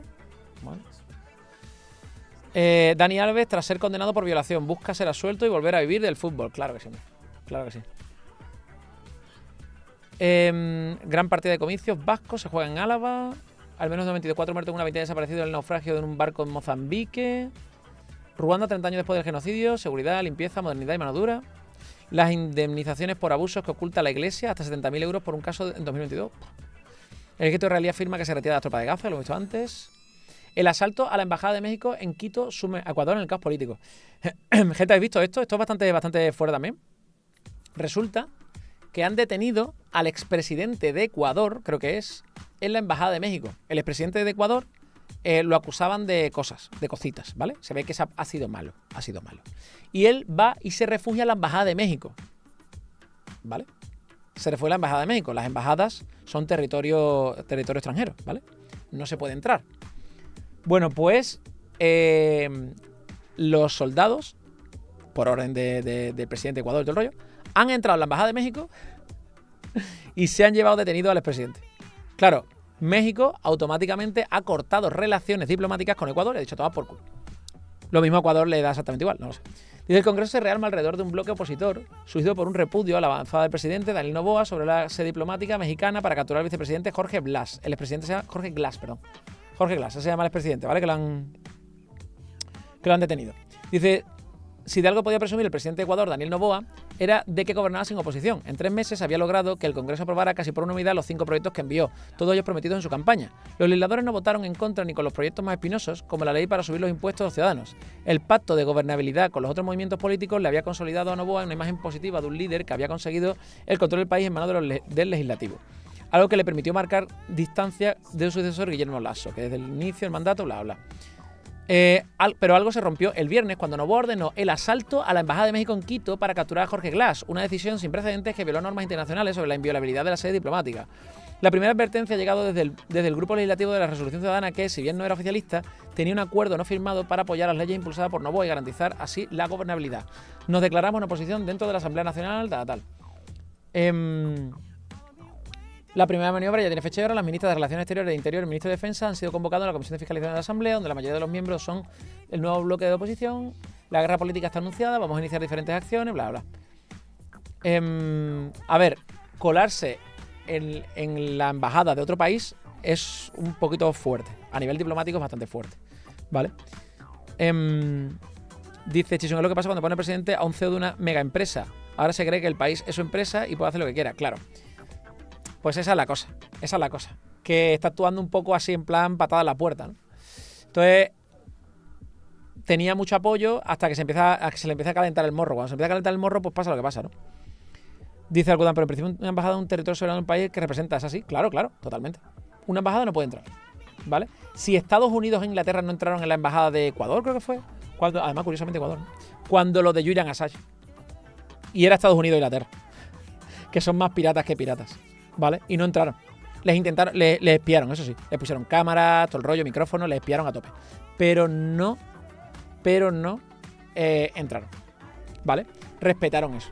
Y era Ecuador, un país que les daba, les daba igual dar una pata a la puerta. Pero no querían que se frustrara lo de Julian Assange, ¿vale?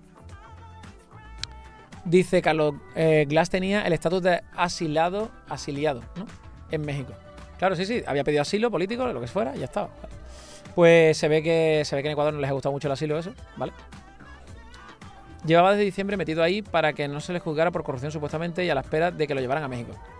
Claro, el problema es por qué México protege a ese señor. ¿Vale? México lo mismo tiene la obligación de hacerlo porque ha pedido refugio político, porque se le persigue. Pero si en Ecuador no hay perseguimiento político, simplemente es un corrupto. Ah, por ejemplo, a nosotros nos gustaría que Rodrigo Rato se hubiera metido en la embajada de, yo qué sé, de México y y hubiera pedido asilo y no se le pudiera juzgar a Rodrigo Rato. ¿Qué pasó cuando Puigdemont se pidió, se pidió asilo en Bruselas y se fue corriendo? Aquí todo el mundo criticando lo que estaba haciendo el ridículo, ¿no? Pues esto es lo mismo, ¿no? México, ¿por qué lo hace? Pues yo qué sé, tío. A veces no tiene más remedio por leyes internacionales, tienes que dar asilo hasta que se resuelva la cosa y tal. Pero es complicado, la verdad. Es complicado. Bueno. A ver, más cosas por aquí. Puch anuncia la salida en bolsa para capturar más de 2.500 millones de euros. Ok. Agencia Nuclear de la ONU denuncia el ataque con drones contra la central de Zaporilla. Uno de los aparatos dañó uno de los seis reactores de la mayor planta atómica de Europa, ocupada militarmente por Rusia. Mm.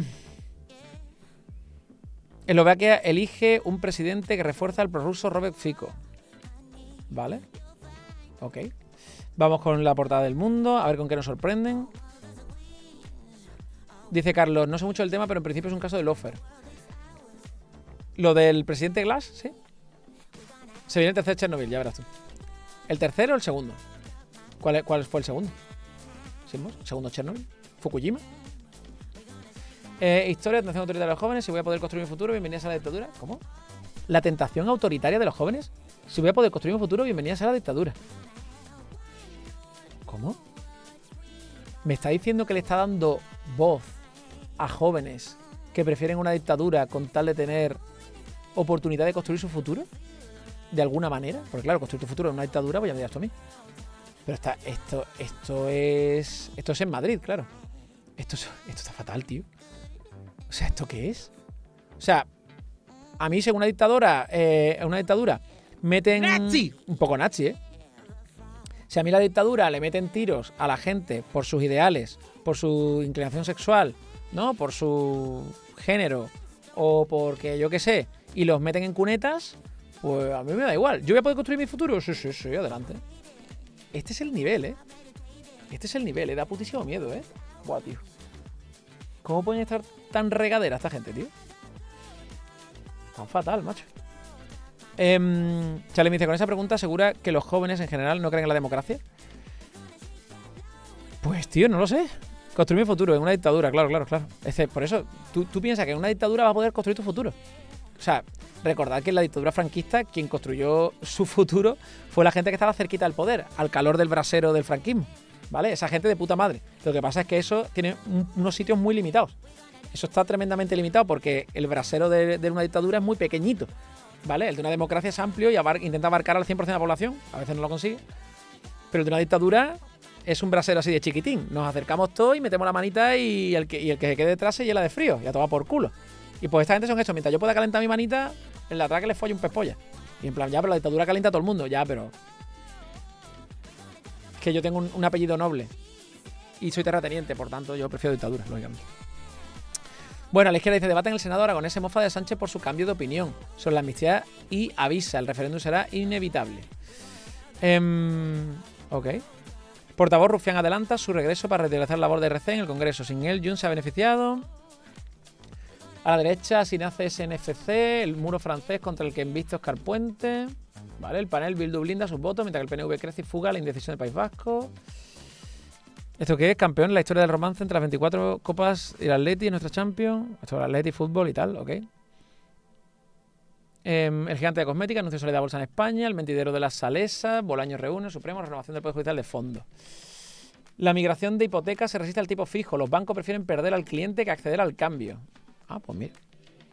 Gráfico de semana. Se duplican los intereses hipotecarios en un año. Aumenta el riesgo de impago entre los hogares de clase media. ¿Cuál es la clase media? Que me lo digan. Eh, José dice, la dictadura calienta a todo el mundo a palo. Bueno, vale, pero yo no estaba contando los palos. Ay, Dios mío. ¿Esto qué es? Oriente Próximo, la polémica en Israel por la exención militar de los ultraortodoxos. El Supremo da un mes para que haya una nueva ley de reclutamiento. O sea, ¿te imaginas que empiezan a meter a los ultraortodoxos en el ejército? Bueno, vamos a reír, ¿eh? Vamos a reír, ¿eh? Eh, Carlos Sainz eh, ha entrado en el podio de un premio, ok. Em, Polonia, los sondeos dan la victoria al PIS en las municipales en Polonia, ok. Juicio en Tailandia, en el paraíso budista, con peleas de búfalo, donde Daniel Sancho se juega la pena de muerte. Y luego te ponen al equipo A y no sé qué, ¿y esto qué es? La mirada corresponsal Tonga, la nación del Pacífico, donde su rey no tiene empacho en demostrar que manda mucho. Ay Dios. Dos muertos y tres heridos, entre ellos una niña de dos años, tras estrellarse un coche en la que viajaban contra una vivienda. Bueno, vamos a ir a menearme un poco así, a ver qué encontramos por aquí. Dice Simbo, la clase media, porque la pobre ya está impagando. Claro, nos ha jodido. Mag dice, se me ha complicado la mañana y me he perdido casi todo el café de Mongolia. ¿Hay algún titular de tanques para el ocultar? sí, no, pero si quieres te sacamos algún titular de tanques. Buscamos cosas de tanques y lo ponemos, Mike. Una empresa recibe amenaza a través de su impresora por un ataque de intrusión. O sea, le, le empiezan a imprimir amenazas, ¿no? Europa investiga una doble violación con Burundanga con mala praxis policial y judicial en Navarra. Una doble violación con Burundanga, joder. Alerta alimentaria en España por unos melones procedentes de Marruecos. ¿Vale? Tras detectar la presencia de residuos de pesticidas eh, por encima de niveles permitidos en melones procedentes de Marruecos. El análisis se ha realizado en un control de fronteras. Ok. Pues se han detenido unos melones en la frontera, gente, porque tienen, vienen intoxicados, ¿vale? La rebaja del IRPF en Madrid provoca una pérdida de ingresos irrecuperable. Em, el 42% de las mudanzas de rentas altas se concentró en la capital entre el die- en 2016 y 2019. El informe de institutos de Instituto de Estudios Fiscales señala que la estrategia desplegada por los gobiernos de la Comunidad de Madrid en las últimas décadas, reduciendo el tramo autonómico del impuesto sobre la renta, genera una pérdida recaudatoria que es notablemente superior a las posibles ganancias de los ingresos públicos generados por la migración de contribuyentes. Vale, vamos a ver, esto ya lo he explicado muchas veces, ¿vale? Porque ya pasó el año pasado, lo hemos dicho varias veces, lo, lo digo muy rápido. Madrid hace una rebaja fiscal a todo el mundo que tenga pasta y se mude a Madrid, ¿vale? Y entonces de repente te pagan muy pocos ingresos, ¿vale? Eh, eh, pagan muy pocos impuestos.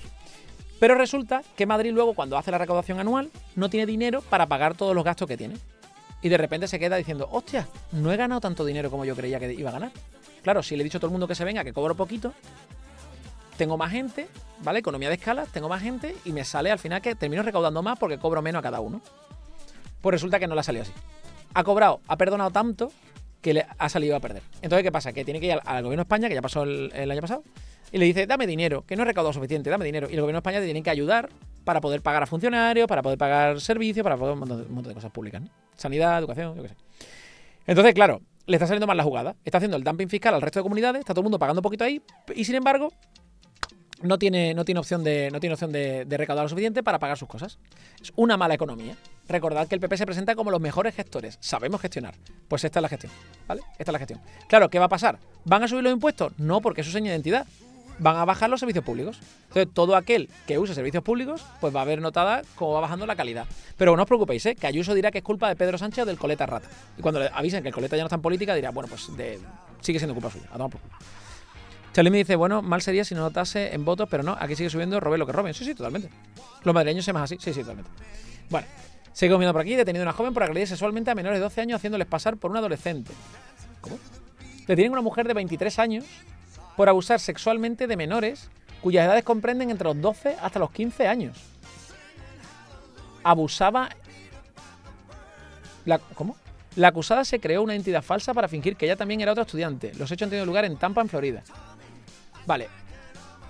Una chica se hace pasar por una menor de edad, con 23 años, se hace pasar por menor de edad.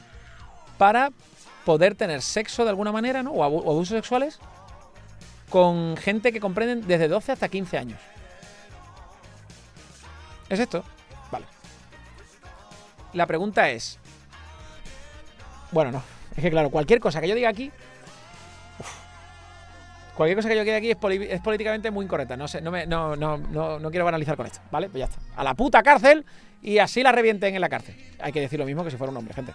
No, no se puede tener otro discurso, ¿vale? Buenas, J. Río, ¿qué pasa? Eh, diga lo que diga, vas en chirona, sí, sí, totalmente. Yo no puedo comentar esa noticia, claro. Fíjate se acuerda que anda floja, sí, sí, sí. Por eso, eh, eh, ¿habéis, visto, ¿habéis visto cómo he ido frenándome? ¿Habéis visto la, la frenada? En mi silencio estaba la frenada. En mi, en mi cara. La frenada a, los comentarios que iba a soltar. Porque se me han ocurrido comentarios, pero luego he pensado, uff, cualquier cosa que yo diga aquí no va a estar, no va a estar bien. O sea, no. ¿Vale? Ay, Dios mío. La frenada era importante, sí, sí. Sí, sí. ¿Vale?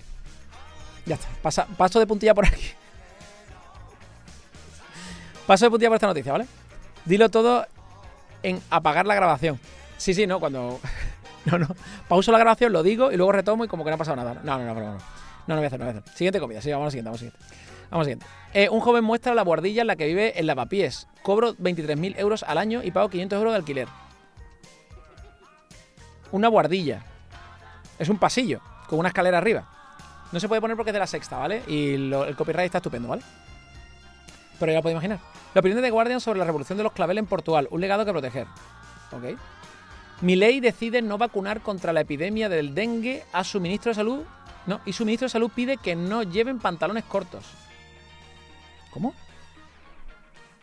Espérate, vamos a escuchar el vídeo porque yo creo que esto. escuchar también Ah, espérate, voy a subirme el volumen. Pausa la música. A ver. es para volver a insistir en el cuidado, digamos, usar mangas largas, digamos, tener cuidado con, con Hay los muchísimo- pantalones cortos. hay digamos, muchísimo que se dengue en Argentina, ¿vale? Pero ropa se, clara, ¿se sabe más o menos cuándo van a estar en la góndola? ¿Cuándo vamos a poder tener acceso a esos repelentes? Sí. Es, es muy difícil desde, desde aquí decirlo. La información que nosotros tenemos es que esto es, es ¿Se ha comido chicle? coyuntural y que se va a resolver probablemente en las próximas Cabrones. Eh, ¿Está comiendo chicle? ¿Está, está mascando chicle mientras habla? Dos semanas.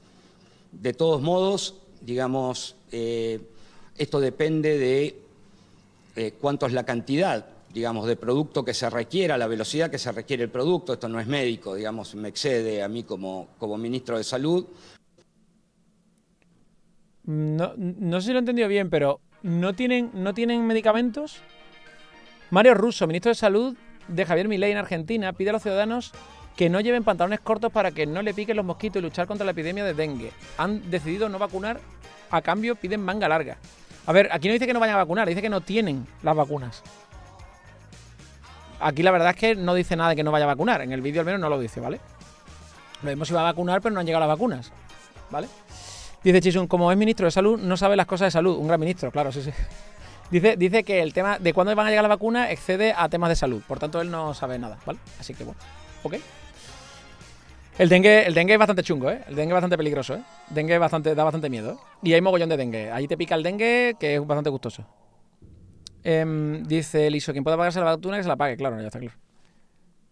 Dice, en el vídeo dice de repelente, no de vacuna, ¿no? Bueno, es verdad, dice repelente, pero entiendo que lo mismo, no sé. Dice que lo han decidido no vacunar. Lo que no tiene es, es repelente de mosquito, que es el que transmite el dengue. Ah, vale. Han decidido no vacunar y a cambio dice que la gente se ponga repelente, pero tampoco tienen repelente. Vale. El dengue es como la cobra gay, sí, pero con bastante más sangre. Lo digo por. Macron agradece a los maquis españoles su lucha contra el fascismo y por la libertad. Hombre, por lo menos alguien se lo agradece.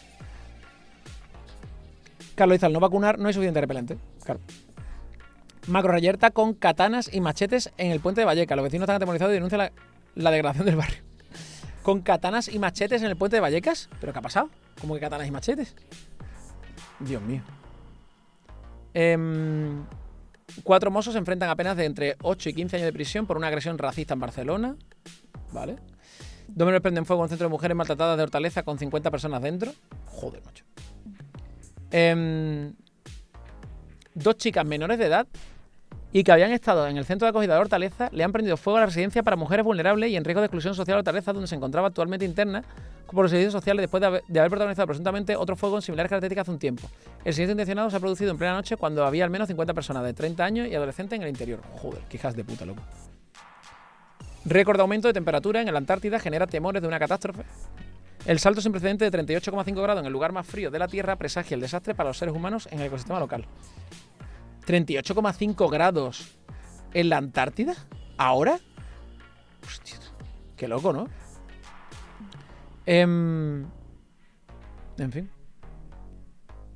Eh, tenéis que hacer una canción en vez del capibara, una que diga dame dengue. Dame dengue, dengue, dame dengue. O dame dengue o, o toma dengue, toma dengue. toma dengue, toma dengue, dame dengue. Se llama así, toma dengue, dame dengue. ¿Quieres dengue? Dame dengue. Algo así. Una canción que solo repite todo el rato lo mismo. Sevilla en la Antártida ahora, dice Simbo. ¿Ah, sí? Madre mía, tú. Va demasiado rápido la creación de la Tierra, dice Boger. A este paso no veo mi pensión, me muero. Claro, no me- to- totalmente. Em, esto va a fútbol, tal. Pepe Bojo sospecha por la presunta licitación a medida de un canal online re- repleto de misas y procesiones. ¿Cómo? El PP y Vox, bajo sospecha por la presunta licitación a medida de un canal online repleto de misas y procesiones. Muy cerca de Ciudad Real, capital, se encuentra la localidad, la localidad de Miguel Turra. O sea, yo he estado en Miguel Turra, yo conozco gente de allí. El pleno campo de Calatrava cuenta con algo más de 15.000 habitantes y está dividida en dos zonas separadas entre sí por 17 kilómetros. En la zona sur se encuentra el centro urbano y en el norte la pedanía de Peralvillo. Actualmente en esta localidad hay seis medios de comunicación. Tres de ellos son públicos, los otros son privados. Ah, vale. Y recibió... Ok. Comienza la construcción en España de la primera planta piloto que integra energía fotovoltaica y termosolar con paneles híbridos, permitiendo generar electricidad de forma ininterrumpida. Guay. Energía fotovoltaica y termosolar, con paneles híbridos. Mola. Ucrania ataca la cúpula central nuclear de Zaporilla, administrada por Rusia. Ucrania es jugándosela, ¿eh? Seis formas infalibles para hackear el cerebro tuyo para que no moleste. Joder, lo mismo educarlo, o estar con él, dedicarle tiempo. La ONG World Kitchen este, World Central Kitchen esta de Superchef José Andrés, financia y asesora Citrus and Salt, una empresa israelí que alimenta al ejército israelí. ¿Ah, sí? ¡Ah, qué guapo! Resulta que la ONG World Kitchen esta, de José Andrés, financia Citrus and Salt, una empresa israelí que está dando de comer a colonos y soldados israelíes durante el genocidio. Así el ejército a siete de sus cooperantes. Está guapísimo. Financia y asesora, ¿eh? Las dos cosas, ¿eh? Video del Congreso declarar a toda España en emergencia habitacional para regular los alquileres. Es una buena idea. Haces una emergencia habitacional en toda España y ya puedes regular los alquileres. Ea. El primer Congreso debatirá y votará una semana la. Ah, ya te digo yo que el PSOE va a votar que no. Ya digo yo que el PSOE va a votar que no. Todas estas medidas eh, bolivarianas, que es al Cabildo, eh, al PSOE no le interesa, gente. Ayuso recorta otras 3.000 plazas en centros educativos públicos. Vaya por Dios. Israelíes hacen memes de los cooperantes muertos en el ataque de World Central Kitchen. ¿Ah, sí? Ah, pues está guapo. Alemania como daño colateral, la nueva guerra fría contra Estados Unidos. Y esto es el vasallaje, ¿no? Vasallaje, óleo sobre lienzo. Mira, mira esta foto, mira esta foto qué buena. Vasallaje, ¿eh? La política y el rey emérito. Vasallaje, óleo sobre lienzo. Está guapísimo. O sea, no le puede dar la mano. No le puede dar la mano. Protocolo, gente, protocolo. Bueno, vamos al otro lado a ver qué hay por aquí. Microsoft estaría planeando presentar Gears 6, Gears of War 6 y el nuevo Call of Duty de equipo Game Pass Showcase. ¿Vale? ¿Y eso cuándo es? En junio, ok. Esto dice la semana antiguas. Eh, eh, eh, nada por aquí. Karen Choudhury, vicepresidente ejecutivo de Xbox uno de los responsables de Xbox con Claiming, deja Microsoft. Vaya. ¿Por qué? Bueno, se va, no sé. Eh, Apple rela- relaja las políticas del App Store y admite emuladores de juegos retro. Hostia, emuladores de juegos retro. ¿Y va a mm, controlar cuál, qué es un juego retro y qué no? Eh, y ese bulto del pantalón de Almeida se alegra de ver al rey. sí, totalmente. La campaña Stellar Blade dura 25 horas y recibirá el modo nueva partida. Este es el juego este que decían que las tetas tenían más física que el pelo. ¿Vale? Que puede ser un buen juego, no digo que no, pero Stellar Blade se le llama. Lo digo por si quieres ver física de tetas a tope, que sé que aquí hay mucho que le gusta eso. eh, pues buscáis Stellar Blade, vídeos, memes o yo qué sé, y ahí lo tenéis. ¿vale? Eh, The Elder Scroll Online lanza un prólogo de Gold Road y muestra la hoja de ruta para celebrar el décimo aniversario. Roblox dice que tener niños ganando dinero en la plataforma no es explotación, es un regalo. Vale, esto de otro día. Y habla del Hearthstone aquí y modo de campo de batalla, bla, bla, bla. ¿Vale? Y ya está. Pues ya está, gente. Lo tenemos, lo tenemos por hoy. Eh, gente, besito a todo el mundo. Nos vemos luego a las 4 de la tarde que seguimos con el, con el Capitán of Industry, ¿vale? Aparte de jugaremos otra cosita. Y mañana os veo al resto a las 9 de la mañana en el Café de Mongolia. Gente, un besote, a descansar. ¡Chao! Y los viewers ansiosos listos para el espectáculo perfecto. Las noticias del día, los titulares son oro. Psycho 9000 con rigor y humor las exploro. Desde política hasta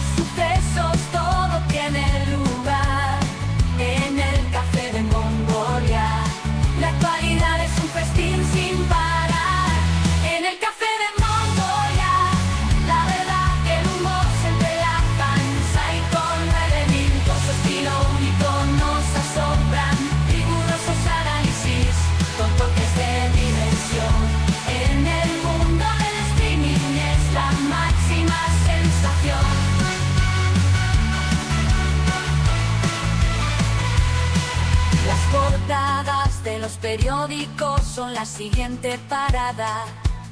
Psycho 9000 con agudeza observa cada mirada. Noticias de Ayuso, el punto caliente del día.